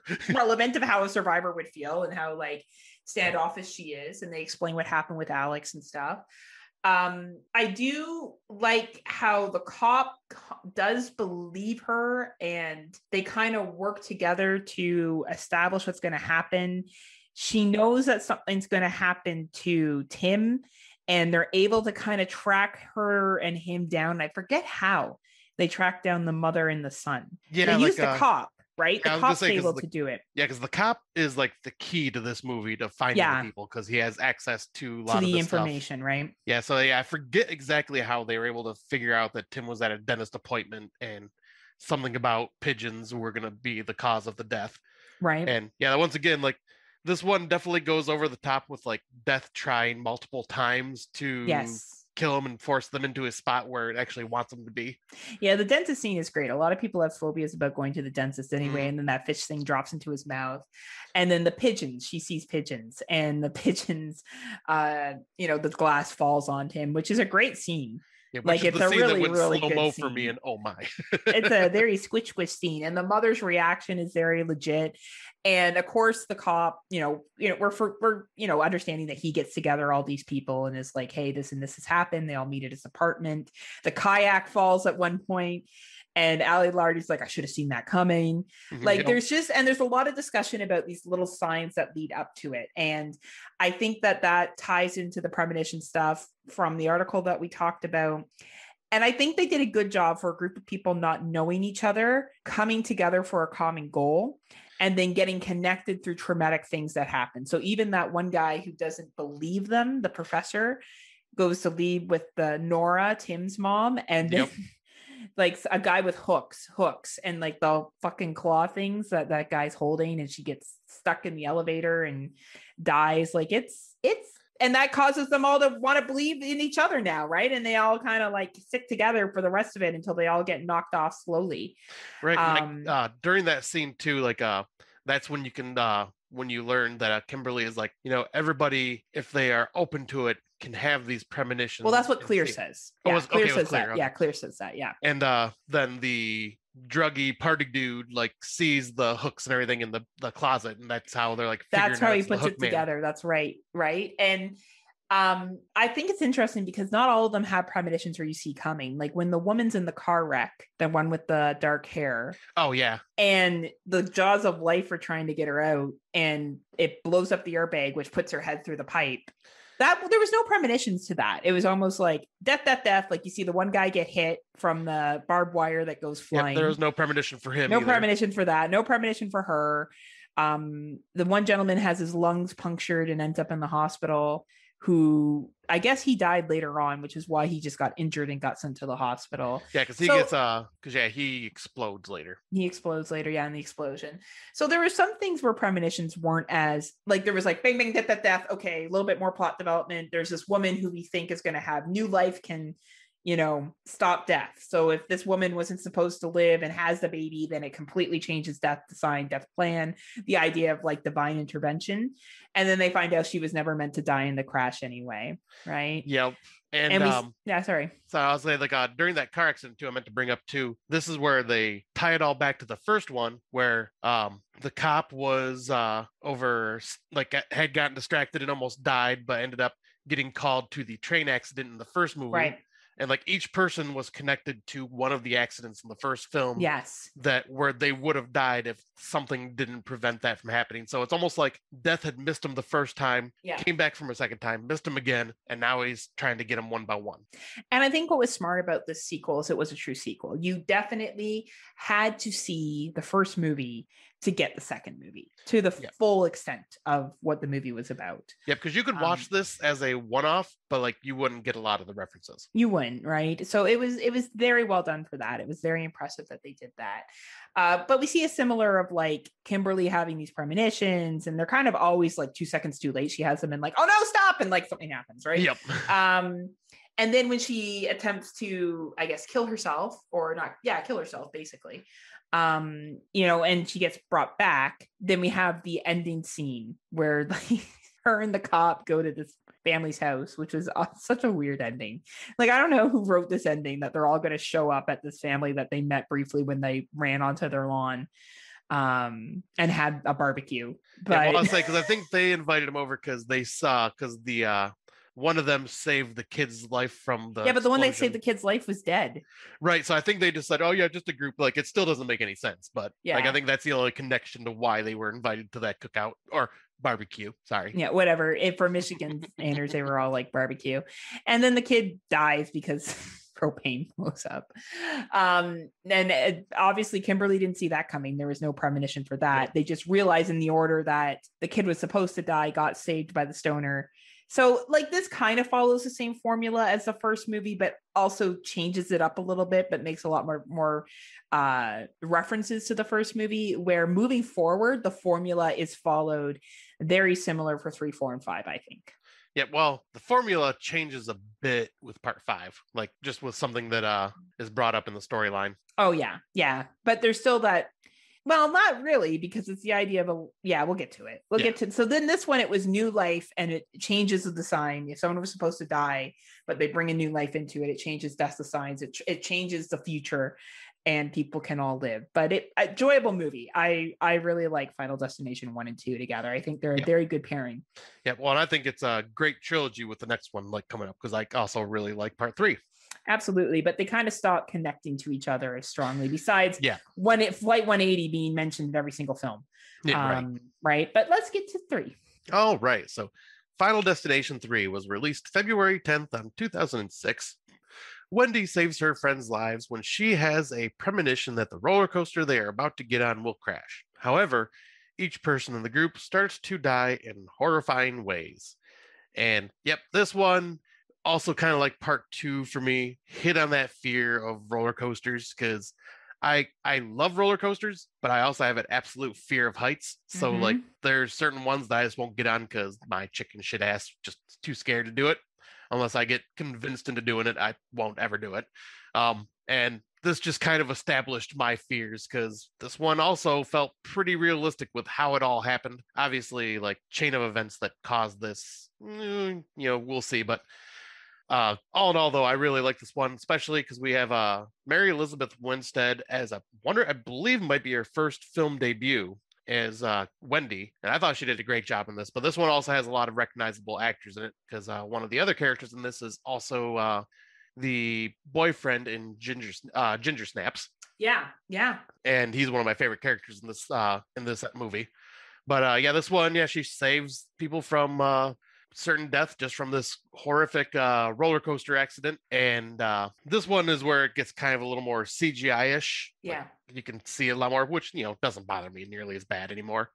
But uh, yeah, like the deaths in this one are pretty interesting. Like I don't know if, if, you have anything else, anything you want to add to like the roller coaster stuff first. Uh the roller coaster is my favorite favorite death in the entire series. Really? Yeah, it's nice. absolutely my favorite. I think that it uh, capitalized on everybody's fear of going on a roller coaster and what could happen. Uh, it was filmed at Playland in Vancouver. So that's a real roller coaster. The actual name of the roller coaster is the Corkscrew for any of our people on the West Coast that maybe want to one day ride the uh, the same roller coaster that was used in Final Destination, it is still in operation.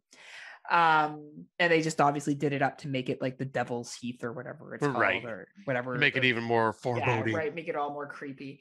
Um, oh, Devil's Flight. That's what it's called. Yeah, Devil's, Devil's Flight. Flight yeah. Right. I I think it's very her freak out is something that I've seen at amusement parks.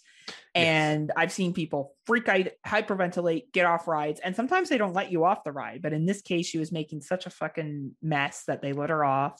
And they would, they would just let off the back carts. They would be like, too bad you guys have to get off. Um, maybe not everybody, but if like they would have to, when you when you raise it, you raise all the bars in that one cart. Like that's actually how the mechanics of works.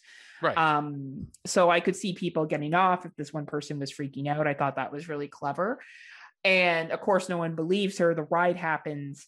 And what I felt I did not like about this one, where I found the first one was better. It was like everyone besides Wendy and her boyfriend were like, oh, well, our friends died. Like, now move on. Like, there was, they were all high school seniors that were supposed to yeah. be at this thing and everyone acted like it was no big fucking deal. Like yeah. three weeks later, we're not even at graduation yet. This was supposed to be like their graduation carnival. So, you know, I'm assuming it's like a couple of weeks, maybe a month later, because the July 4th celebration happens. Mm-hmm. Um, they're all like chilling yeah like um and one thing i one thing i had an issue with like uh, kind of going back a little bit was uh when you know uh she when wendy's freaking out and they let her off the thing like the one the boyfriend is all the way up front he's like dude let me off. That's my girlfriend freaking out. And they wouldn't even let him off and i'm going okay come on. Like i i believe that he wouldn't be let off though.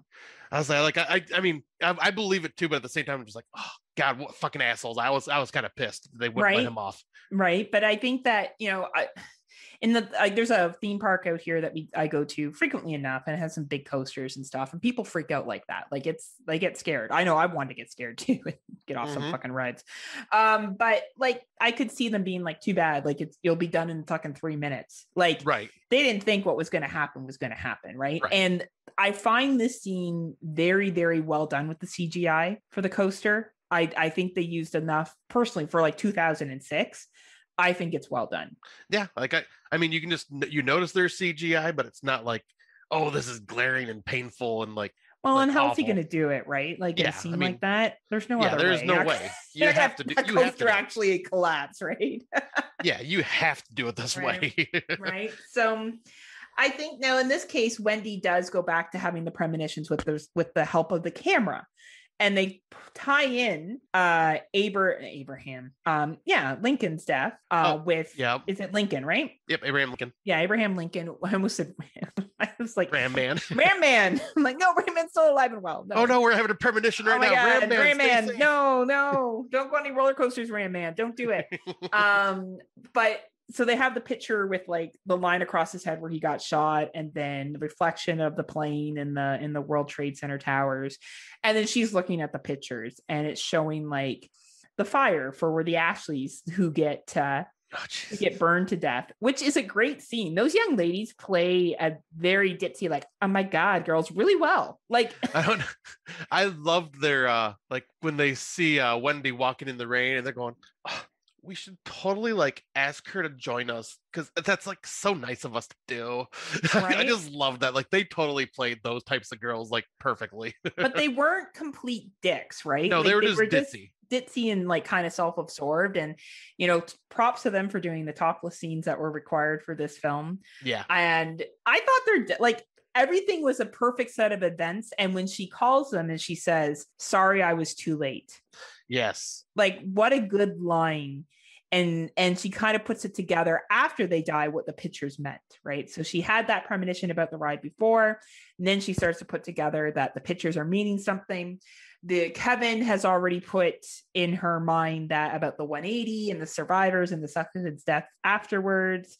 It's a really good setup. And then that one dude frankie they can't figure out how to find him and then they end up being in the drive-through line behind him The freaking creeper. right? And he ends up getting what is it like? What goes through his head? the engine block goes flying through block his goes head through and like his head, fucking the fan chops him in half. Which I got to bring this up. Um, I don't know if you ever watched the DVD, but the DVD has almost like a choose your own adventure feature on it to where uh when certain decisions need to be made, you can click does the character do this or not?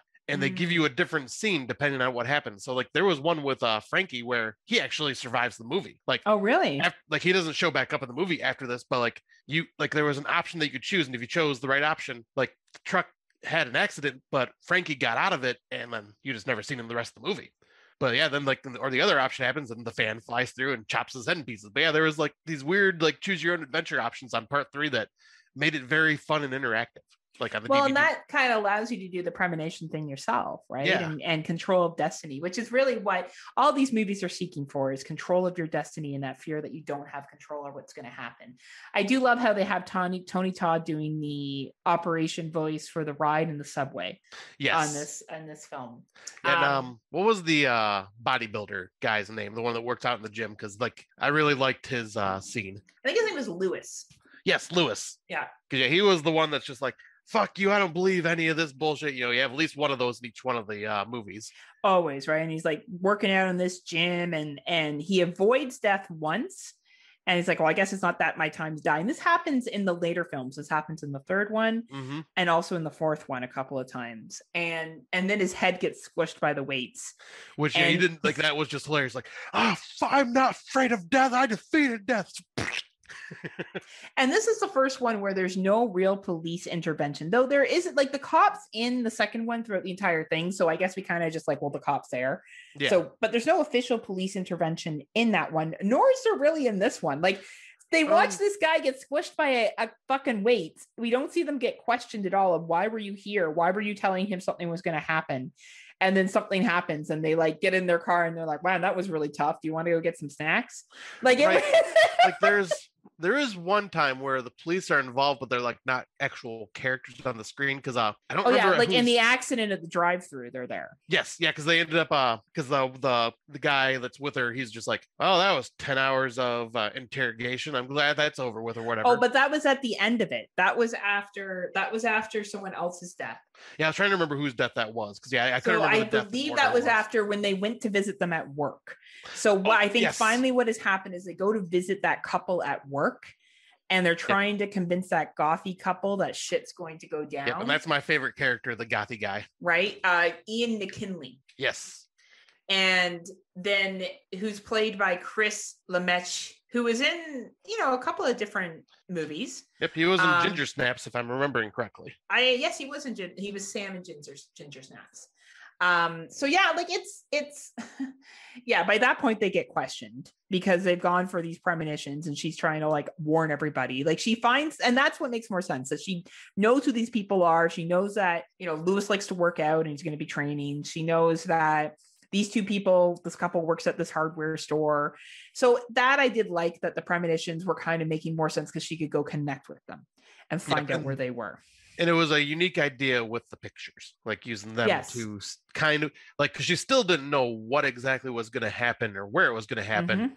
And most time, like just like a lot of these movies, she figures out the premonition way too late and pieces it together right after it already happens. Sometimes she catches it in advance, but like in this one, she catches that it's like while they're in the warehouse, she catches what the premonition is, but it's still too late because it's It's yeah. already in motion at the point. better than Kimberly in the second one that was like, oh my God, you're going to die. And like two seconds later, it happens. Right. Like, I feel like there was a little bit more of a lead up time here.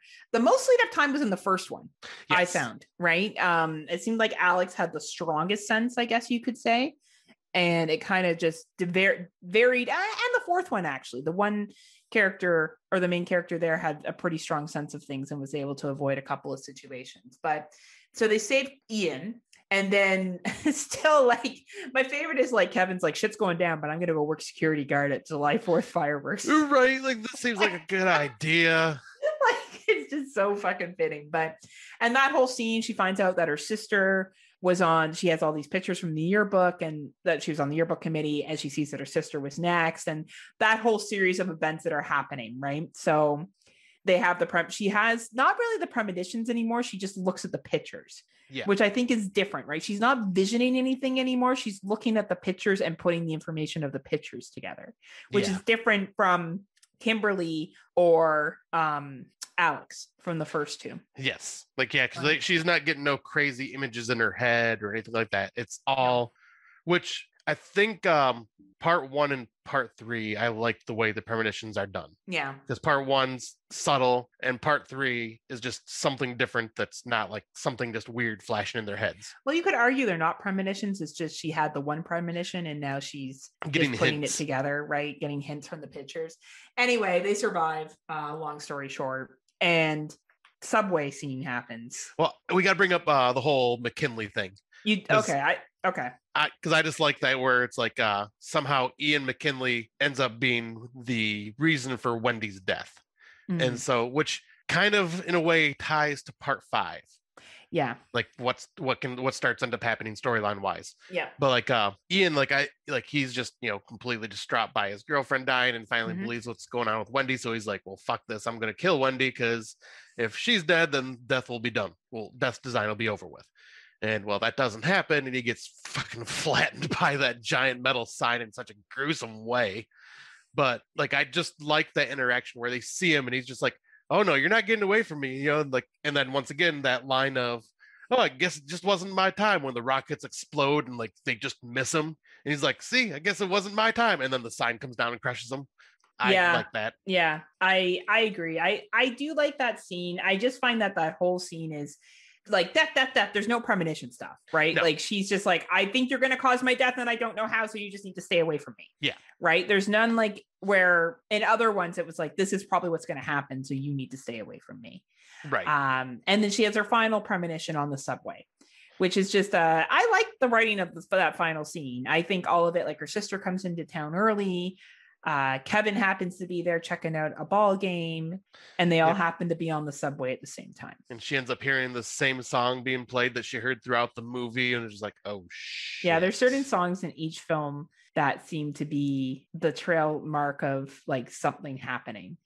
Yeah. And I think that's really clever. And I do enjoy Tony Todd. It's the end of the line, the end of the line. I really good, like, no matter what death is going to find you, and this is how it's going to happen. So Yep. now let's go to the one that Scott keeps throwing shade on.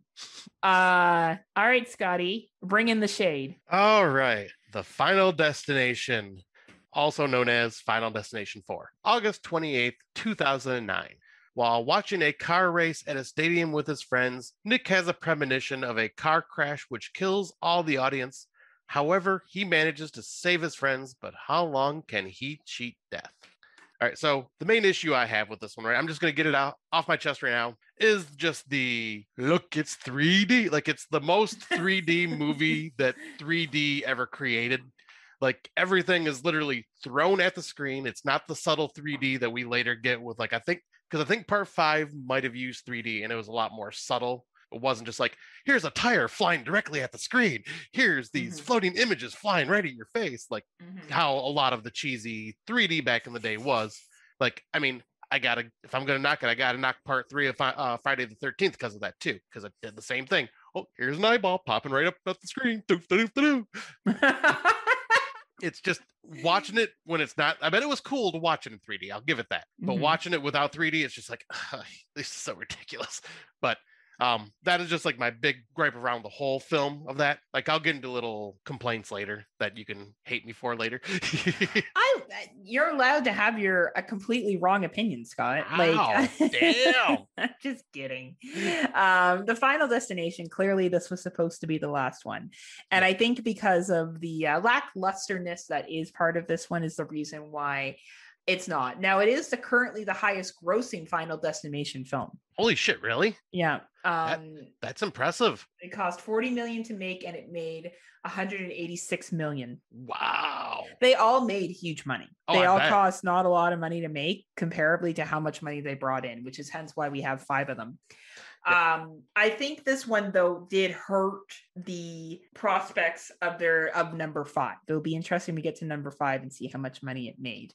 Because I think this one probably disappointed people. Yep. Well, um, it wasn't as good as the first three. No, and I have to say, um, the accident in this, which once again, fairly believable.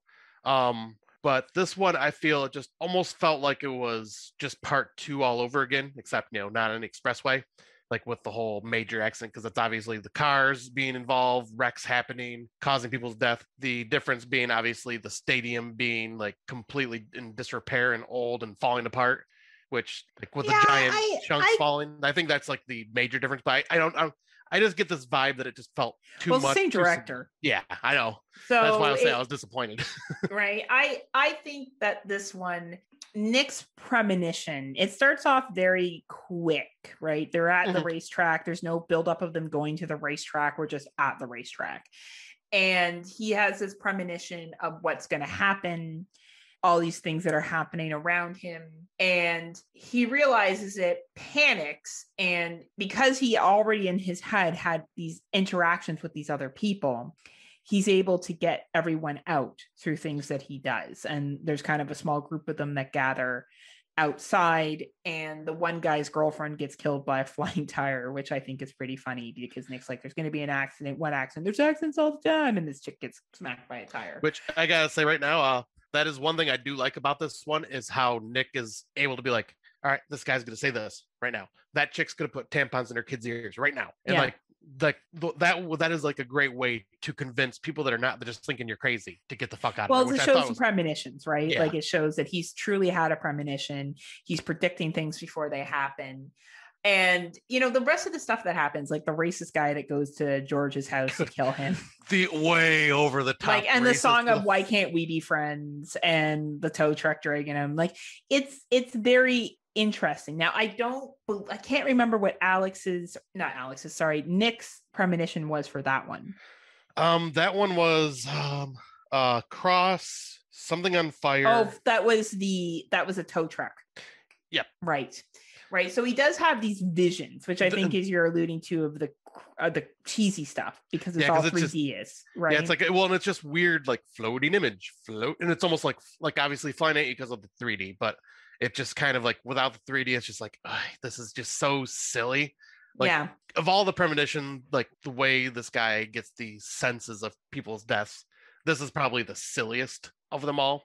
Which Yeah, is not to take away from it. I just think it's sillier. I think that's a not bad. valid point. I think images would make sense that you would see images. I think it's how they chose to show the images Yes. that made it that made it silly, right? So and then the I thought the interactions though, like Samantha, the mom, taking her two boys to get their hair cut. Like I thought all the little skits of where people died were actually really good. Like I found that I I thought the deaths were good too. like I felt bad for the mom. Like there was a couple of characters throughout it, like the mom in the in the second one and her son. I felt bad for, and I felt bad for the mom here.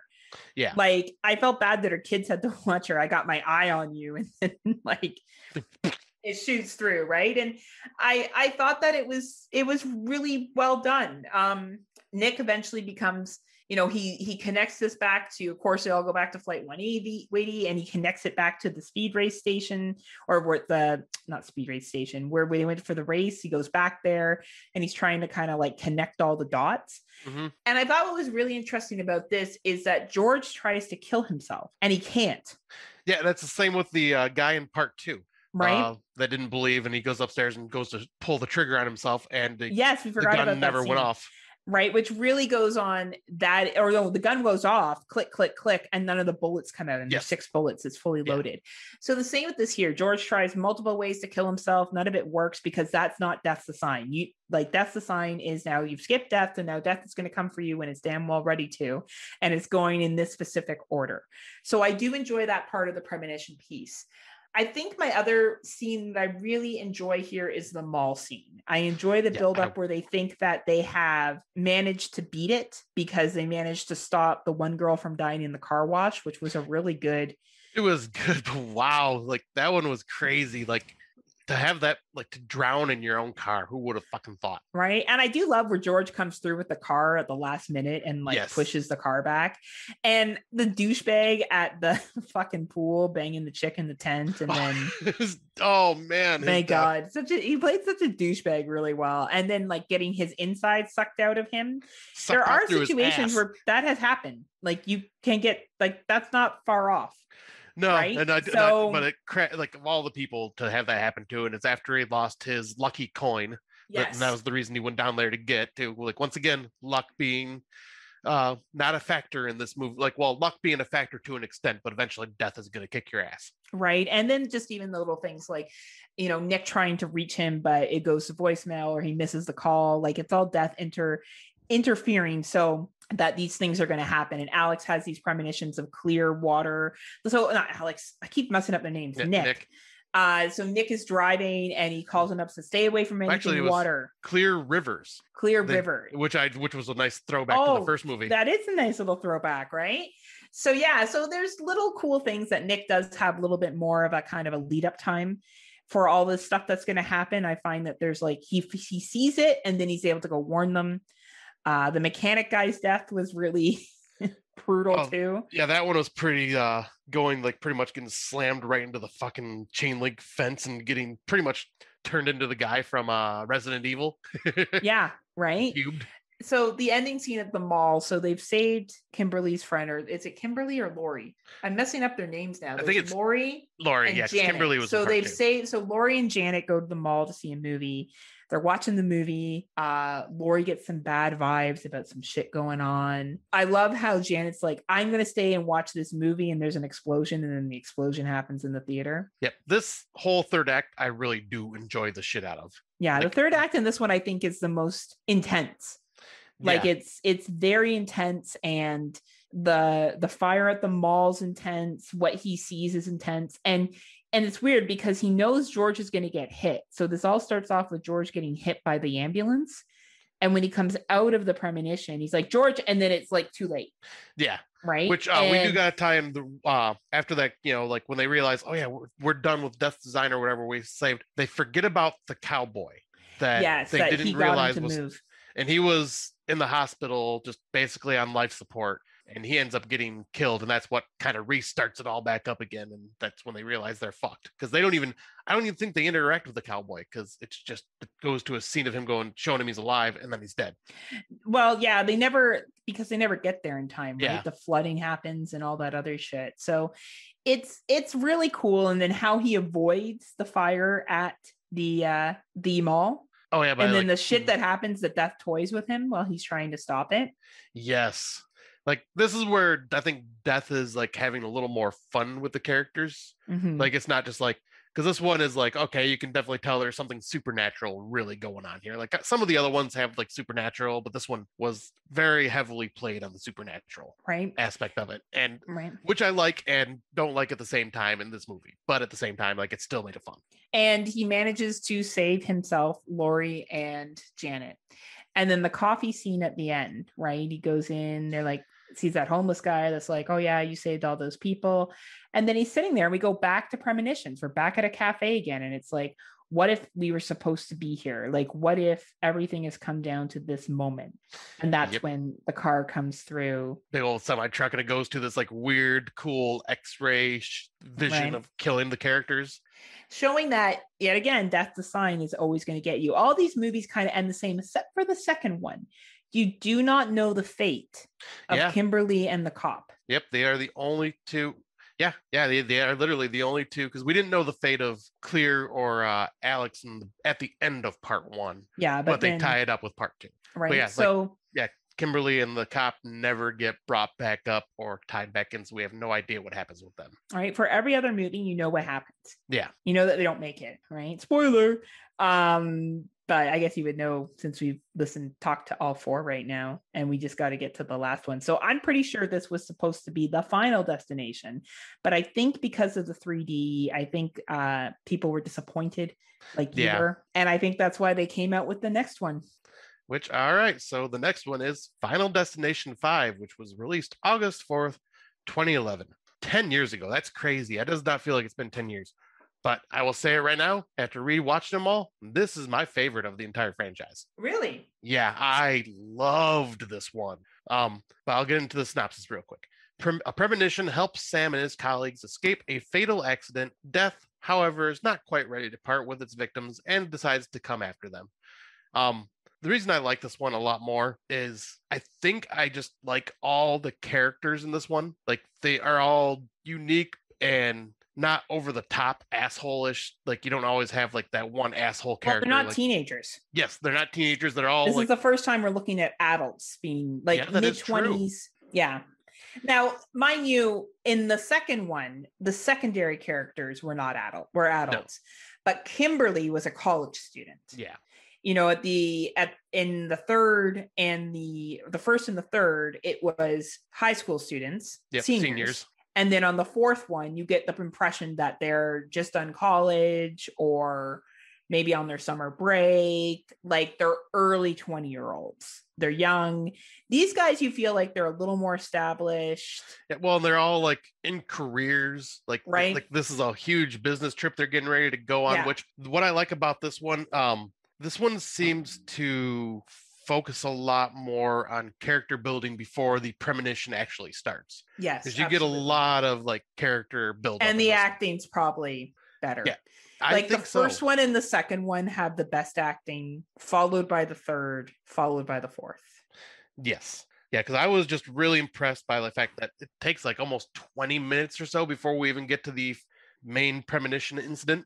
Yeah. And it's just all like character development of introducing each character individually and once again these characters all know each other through work or work related things. The main character uh what's his name? Sam is like doesn't even work with the company but he is just like a professional cook that was hired on by his friend to pretty much go with them on this business trip to cook. Uh, but i like this one because this is also another good fear that people have and that is fear of no he he did work for the company he worked there during the day and he was a chef at night Oh, that's right. yeah Okay. Yeah, yeah, that's that was Sorry. his like day job and then he was moonlighting as a chef right because that was his Yeah. dream job was to be a chef working in like a sous chef yeah he was a line cook Yep. like at Like a nice restaurant but he was yeah he was cook. working at a very fancy place yeah yeah but um yeah I like this one uh a, a lot obviously but uh like this one once again has that uh plays on the fear because suspension bridges I know a lot of people that are terrified of going over these bridges because it's just over these giant bodies of water and like especially like uh because we have a bridge like that here and it's the Mackinac Bridge and when you go over it, it like your speeds have to drop and everything depending on if it's like a windy day like you can Mhm. feel the bridge swaying and Mhm, like it's mhm. It's kind of nerve-wracking for some people like any bridges can be for sure. Yeah. i've always thought of bridges collapsing. We actually had a bridge collapse near me back in the early uh 1930s oh really? Mhm, Oh, boy. Mhm. yeah it was a it was a driving bridge too and it collapsed. Oh wow. Yeah. Yeah that'd be terrifying and right. yeah this film does like it's felt very realistic with how it would happen like with like the construction being done on there and like it's yeah it's just like this one made me like anxious kind of like two three and five just gave me that like feeling of anxiety during the major accident that's happening absolutely and the characters are very like you do get connected to them you're right and when he's and when he has the premonition and it's dust in the wind is the song Yes. that's playing and which is like a song about death all we are is dust in the wind. Hmm uh and he manages like he's like when he sees it he's like we need to get off the bus now. And it's interesting the people who get off the bus and why right? They're like what are you doing? And that that 10 second head start that a couple of the characters get by just getting off the bus like olivia manages not to panic. She doesn't lose her glasses. Uh other people are just off so they're easy to run to get to safety as the bridge starts collapsing Yeah. and the cgi is great like yeah. you know, I'm reading on here that the critics praised the C- CGI in this film compared to the other films. Um, I think the CGI in three is fine for when it came out. I think the Mhm. CGI in this one shows what could be done in the future, and I can imagine if they make a six one, Yeah. how well the CGI can be done. Yeah, and like th- that is one thing too about this major accident too is uh yeah this one it's not like you know every one of them they've been by just mere seconds or minutes from death actually happening, but this one it's like they're actually having to run for their lives because the accident is still happening around them. They weren't Yeah, they weren't at the safety's edge like the other ones. No, yeah, they were still right. in it. And they had, like if they would have not ran like or ran fast enough, they would have still not made it. yeah, Which is still it's just crazy to me that that's how that one happened. It's like oh shit, get off the bus. Oh, it's happening right now. Go. yeah. Like he kind of gave them a 10 second head start. That's Yeah. basically what happened, right? Um, and of course, the FBI questions him similar to the first one. That makes sense. Like, how did you know this was going to happen? Yeah. And uh, then the research comes back that you know the bridge just collapsed due to structural issues. It had nothing to do with him planting a bomb or anything like that, which is what the FBI is wondering if he Right. had something to do with it. Um, I do find that the build up to the deaths here is it's a lot quicker. Uh, kind of a not like Candace dies during her gym practice, and that gym scene is painful to watch. Oh, Uh, and a very good build up. And I'm just wondering why the equipment wasn't better well kept, but that could be said did- for almost any one of these movies though. right. But he doesn't have our main character Sam doesn't have a premonition about Candace dying. I don't think he really has many premonitions premonitions. of any of them really. I think he just realizes the order of what's happening once like a couple of them die. Yeah. So he starts like just trying to be like near them to protect them. So But, like- really, yeah, this one is more based on the spectacularness of the deaths and things that could, like the gymnast, the spa, uh, the eye surgery. None Yeah. of it really is him sensing it. It's just the order of where people died in his premonition. Yep. And um I like uh the because this is where like even the asshole character doesn't become the asshole character till eight later on in the movie because what happens to his girlfriend Candace. Like mm-hmm. because you you're just like, oh, he's just like a dude that's you know trying to vie for power in the company and try to get it get go places, and you know he really loves his girlfriend. He's good friends with everybody, and then like what happens to his girlfriend just completely devastates him and destroys him, and like to the point where he he just you know starts drinking heavily and just like starts kind of losing his temper. And then we find out the whole because Tony Todd reappears after the spa one, which uh this is the one character where it's like, hey, like I seen this I can't remember his name, the one that goes to the spa, but he's like the douchebag. Oh, Isaac. Isaac. Like uh I was almost gonna be like, hey, that smoke show in movie form, like when he's on the bus and he's like, oh, talking to this one lady, then he's like, oh, I gotta let you go. And another lady calls, he starts talking to her, I'm like, Yeah, hey, that right. smoke show. yeah, he it was funny. Isaac, that's that's totally you, Scott. You are just constantly on the phone with bitches. I don't even know how we managed to record all this the time. podcast All, the time. time. all the time. It's I have to schedule you in just for this podcast. I I, know, said I'm you were just- busy at a memorial barbecue. No, no, no. You're just like you know those cheap phone lines that you call on a Friday night where there's this chick that's like, "I'm home tonight, looking to talk." That's you. um, yep. That's what you do. You're just available to talk all the time. Give you my sultry voice. Ooh, yeah. You But I just that. realized as we're talking, there's no premonitions in this. There's Nope. There's one, and he just keeps going back to it the entire time of like the order. But he doesn't sense that his buddy's going to show up and kill, try to kill him and his girlfriend, or he never Yep. would have let him in. Great, which I love this. This is why I think this one became my favorite because I just love the story that you can uh skip out on death design by having someone else take your place when you should be dying and then you take over the length of life they have left. And so the character that gets completely destroyed and distraught from Candace's death hears it from Tony Todd when Tony Todd explains that, saying, you know, death has a design, blah, blah, blah, but it can be fooled or basically paid off by giving it another life. So the other guy starts contemplating, like, man, if I could I kill somebody? And like Yeah. if I kill somebody, and then he realizes like that it's actually true because uh the one friend of his that's actually like the uh warehouse guy Manager, yeah. Yep, ware- warehouse manager almost gets killed and goes to shove the guy that he's fighting with out of the way, but ends up shoving the guy into the giant hook that's coming down and killing him. So the dude dies in his stead, in his place instead, and he takes over the length of life that guy has. And Yeah. I like, I just love the idea of this, and that the fact that one guy's like, "Yeah, if I murder you now, well, then it will skip over me, and I'll live for the rest of my life. Like I'll live your life, Yeah, perfect." yeah. And he goes crazy, and it like becomes kind of a cat and mouse, like when they go to that restaurant. And like I love that end scene with them, like when they're fighting in that restaurant, because there's all these ways that death could get them because of you know the fryer. The fryers are boiling. The knives are everywhere. Yeah, but he turns all that on. It's funny Yes. that you like this one so much, and I'm not criticizing, but this has nothing about premonitions. Like the more I No. think about it, I'm like, this had nothing on it. There was no like, you know, Sam seeing something and and trying to avoid it. It was him basically keep going back, as I said before, to the first premonition and tracking how people were going to die and trying to prevent it. And really, what this movie did was they it actually allowed number four to be the last one because in the ending scene, it's they're on the plane, and which I you find this. out is flight 180, and they die, setting off the events of the next four films. Yeah, I So love this how was it all- almost like a prequel without Yeah. being a prequel. Yeah, it was. Yeah, it was literally a prequel without telling us it was a prequel until the very end, like reveal. And Right. that's another thing I kind of liked about it is how it just tied everything up in a nice little bow. And like, yeah, I I think the reason I like it without the premonitions is because besides the first one, I just felt well, the first one and the third one, I just felt the way premonitions were shown were just getting cheesy.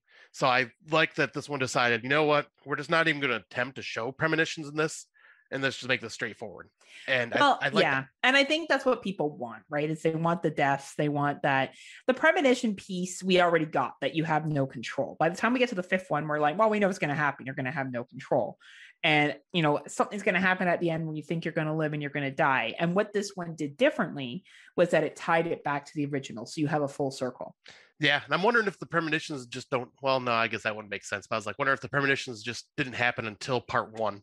And since this was before part one, like it just never happened. But No, no, I think they sense. no no that they just I'm reaching at that they point. never i think they when they made part one you got to think this was 11 years apart they never pictured that this these movies were going to make so much money like this one cost 40 million to make and it made over 157 million dollars at in the box office right they almost no they overly tripled almost Almost quadrupled. quadrupled their their budget right like these movies were money makers and for lots of reasons i think it comes down to premonition and projecting of death and wanting to know whether you have control over death's design and that's why final destination movies are so popular this is Yeah. why this concept was so popular this is why even the shitty one quote unquote made the most money in the franchise Yeah, like because even like I said, like right I may not like the part the part four that much, but I still enjoy it and have no problem watching it because it's still fun. Like Right. it's just some things I have a little complaints about, but still fun. I like none of these are bad movies. They're all very fun. Well, and they all pull out, pull out, pull like they all come down to that, you know, thing that we talked about in the first article. The idea of wanting to control, predict, know what's going to happen, avoid death at all costs, and not being able to. Yeah. Because none of us can avoid it. Eventually, when your time's up, your time's up. And I think that this these movies really capitalized on it really well in the horror genre. They we talked very early in our episodes about real life representing horror. This represents a real life fear Yeah. and they oh, and they took does. real fears of bridges collapsing, car accidents, roller coaster accidents, going to one of those needle spas and having all the acupuncture done, uh, car washes. Like my friend's daughter is terrified of going into a car wash. And I made a joke that has she seen Final Destination before? is that why?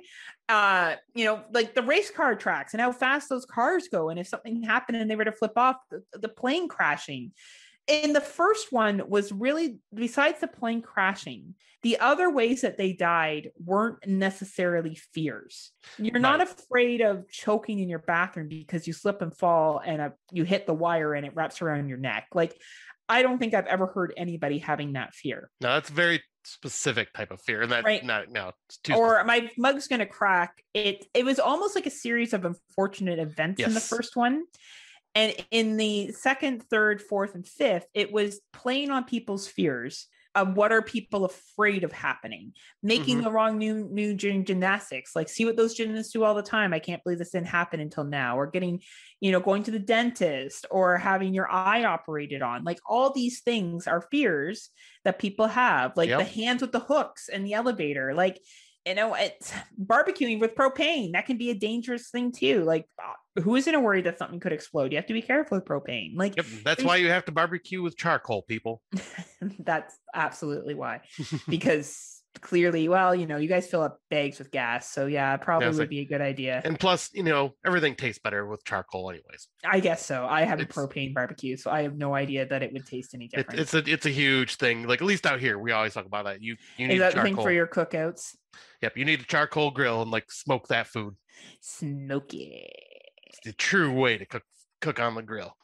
Well, this has been a really great discussion about Final Destination. I feel Yeah. like we found a way to bring in these movies with like following our ethical guidelines of themes. they Um, all happen to be from the same franchise, but Right. that's okay. Um, I do have one question for you though, for the since we're at the end of this. sure. What would you how would you rank these Personally or objectively? personally? Uh personally 3 is my number 1. Then probably 5, then 2, then 4, then 1. Wow, I did not Yeah. expect one to be at the back. Yeah, now that's my personal Yeah, right. enjoyment, not which ones I think are the best, Right. right? Yeah, but that for me it would be five, two, three, one, four. Like I just yeah, I I just wanted to. I was kind of wondering like where yours were at. Like which one's your favorite? I knew three was your all time favorite of them. Yeah, if I was to switch it around and say objectively what I think people like, I would say one, two, five, three, four. Yeah, I could see that. Like I could Right. I can agree with that list. I think that's objectively if we ask the average person how they rank them, probably what they would say. I don't know. Maybe we can put on comment on our page. How do you rank Yeah. the Final Destination find? That- yeah, that's a you good know, idea. actually. personally, or how do you think generally horror people, you know, rank them? Yeah, I, I would be curious about that. Yeah, let's Right. do that.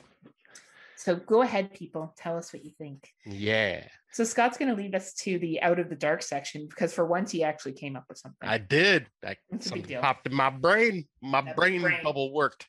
All right. So for our out of the dark segment, since we're talking about the Final Destination franchise and the rumor of a Final Destination Part Six coming out, I thought it'd be kind of a neat idea to ask Heather and like we both come up with our own idea, but how would you like what type of big accident would you like to see done for a Final Destination? So you know the big big event scene that happens in the beginning of these films, the first premonition. Um, I will go first, just because I don't know, like if Heather had come up with anything yet, but I will. I had one kind of building up in my head. Um, one that I thought of that would probably make for a horrific yet entertaining style would be being at a rock concert, like some type of heavy metal show or something like that, with thousands of people all around you in this crowded enclosure. And then a fire happens. And of course, like typical Final Destination, certain events tend to happen to keep them from being able to escape. People getting trampled, people getting sliced by wires that might be falling from the rafters, things like explosions from the speakers, you know, so stuff that's actually happened.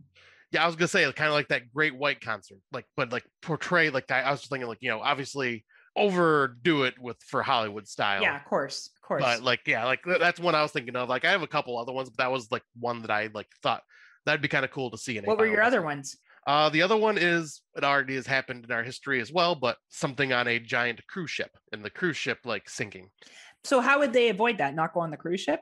Yeah, like that one. Like that's the part where I would say, okay, this one might be a bit tough. Either they, yeah, you would have to get to the lifeboats like they saw in advance that they would have to go to the lifeboats. Yeah, like I was gonna say, they get to the life- lifeboats and then Yeah, either get Yeah. to the lifeboats or they see it happening before they get on board. But then obviously the ship would have to go way out there before it actually crashed. yeah, it'd be like the longest final destination. You'd be like, something's gonna happen. Wait, wait 24 for it. hours later, Wait for it. right? Hold on, I'm not crazy, people. Hold on, hold, They're like, just hold on. Are we gonna get our money back for the carnival cruise? But yeah, I think the best way would be like uh picturing you like, COVID nineteen on the cruise and Yeah, right. sick. the longest final destination movie ever. But yeah, I think the Um, whole lifeboat thing would probably be the best way to like kick that one off. Nice. Nice, yeah, nice, nice. Um, so the one I thought of is there's I guess a couple too, but the one I thought of mainly is that you're at a beach and uh there's uh people motorboating in the in the water and what happens is while they're for someone's water skiing the boat loses control and the water skier gets knocked down but the boat flips hitting another boat. And while the boat's flipping it hits a bunch of people in the water and then it hits another boat and then it explodes and it kills everyone in that vicinity so you're in the water and you're swimming around maybe on like a raft or something with your friends and you're like we're going to get out of this water now what what we need to get out of this water now and like you're trying to get people to get out of the water and you just crawl onto the you get everyone out of the water onto the sand and that's when the boat flips and everyone and you have to like jump for cover on the sand as the explosion goes and like nine people make it out of the water um, I like that. Like 'cause that one's like back. also just like very realistic. Right. Right. So I thought of crowded beaches and what could happen and in that kind of given situation. Uh I think think you could do it at like a wave pool. Like the Yeah. waves are going and then like something happens and like the water becomes electricity and everyone gets shocked and dies.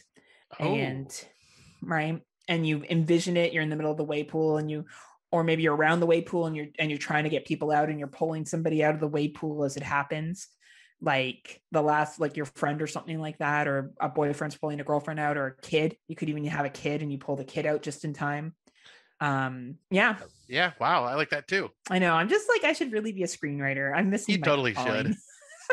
I know because there was even one that I had, but I'm going. I don't know if this would be a Final Destination movie if this was the case. But like being on one of those like uh school trips to the zoo and like one of the enclosures not being fully closed and one of the uh wild animals gets out and then like but yeah but there would have to be a mass amount of death right yeah, I was That's gonna say so that to be like a way like other animals break free and like elephant trampling people. you're like guys damn the animals right, that's what I was thinking. I'm like, it would not feel like a Final Destination film, but I like, I was like, yeah, that would be just like a when animals attack or zombies type movie.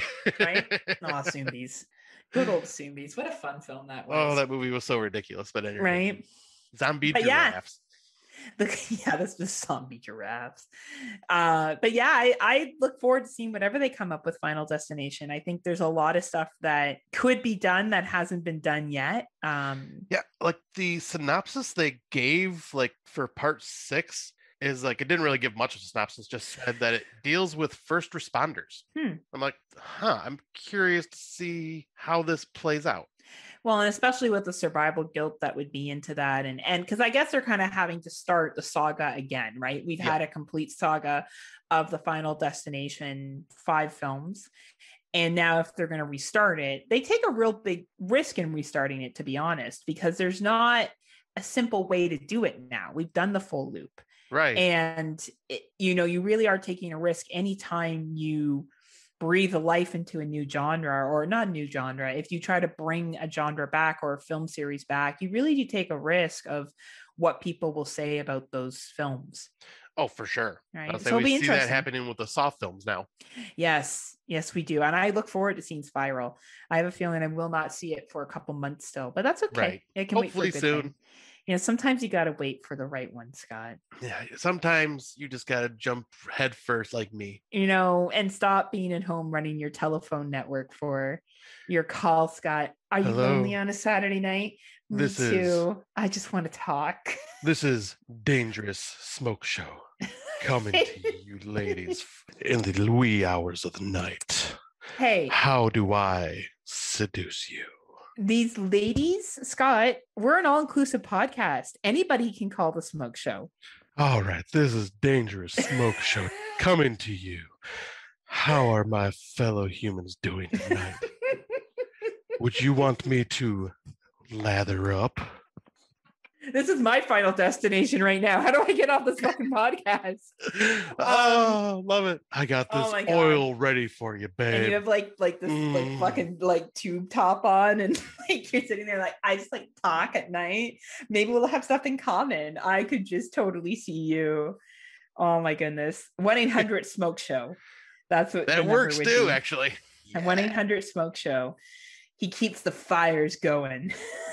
Uh, I'll Huh? ignite the fire in your loins. Then you'd be like, Do you like Dungeons and Dragons? Mm-hmm. Excuse me, do you like gremlins? I really like gremlins. Did you know Every new podcast people we talk to, I'm so sorry, Matt and Kate. Like, honestly, you can't go five seconds on their post without talking about fucking gremlins. Hey. Honestly. Hey.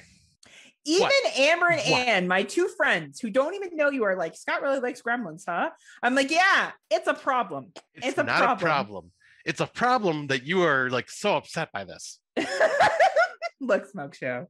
Look, I know that you're a little big on your britches now because of your 1 800 number, Right. all the memes that are made of you. You living in the Playboy mansion, and I'm just some lowly chick from fucking Canada that only likes Canadian films, according to Sander Kane.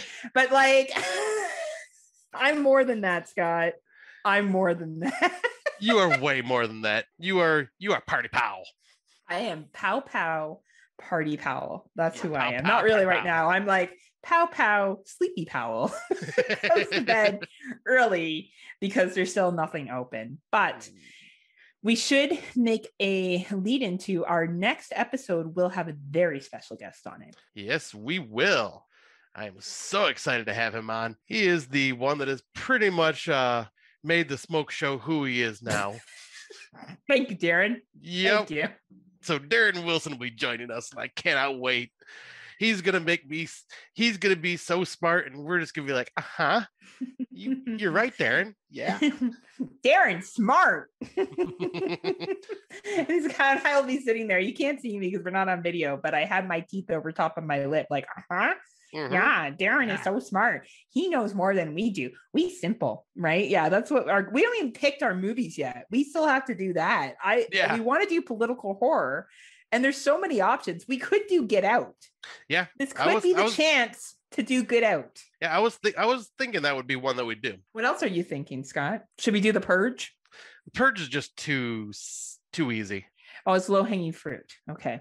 Yeah, when it comes to like, we're gonna have to. Uh, we'll have to think about it more, but like, we can do some other ones that have some more deeper social issues. I mean, this is Darren for crying out loud. We got to bring the bring our A, A games. I know. We got to bring the most like random social issue fucking horror movie and be like, all right, Darren, talk about this. He'll talk about, like, we'll be like, yeah, Yeah, that was right. good. Damn it, you're right. You know this shit.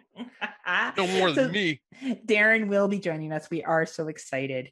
And also, please check out our Legion, Legion Patreon special that came out of top five uncomfortable horror films with Jay Murphy from Kill the Cast.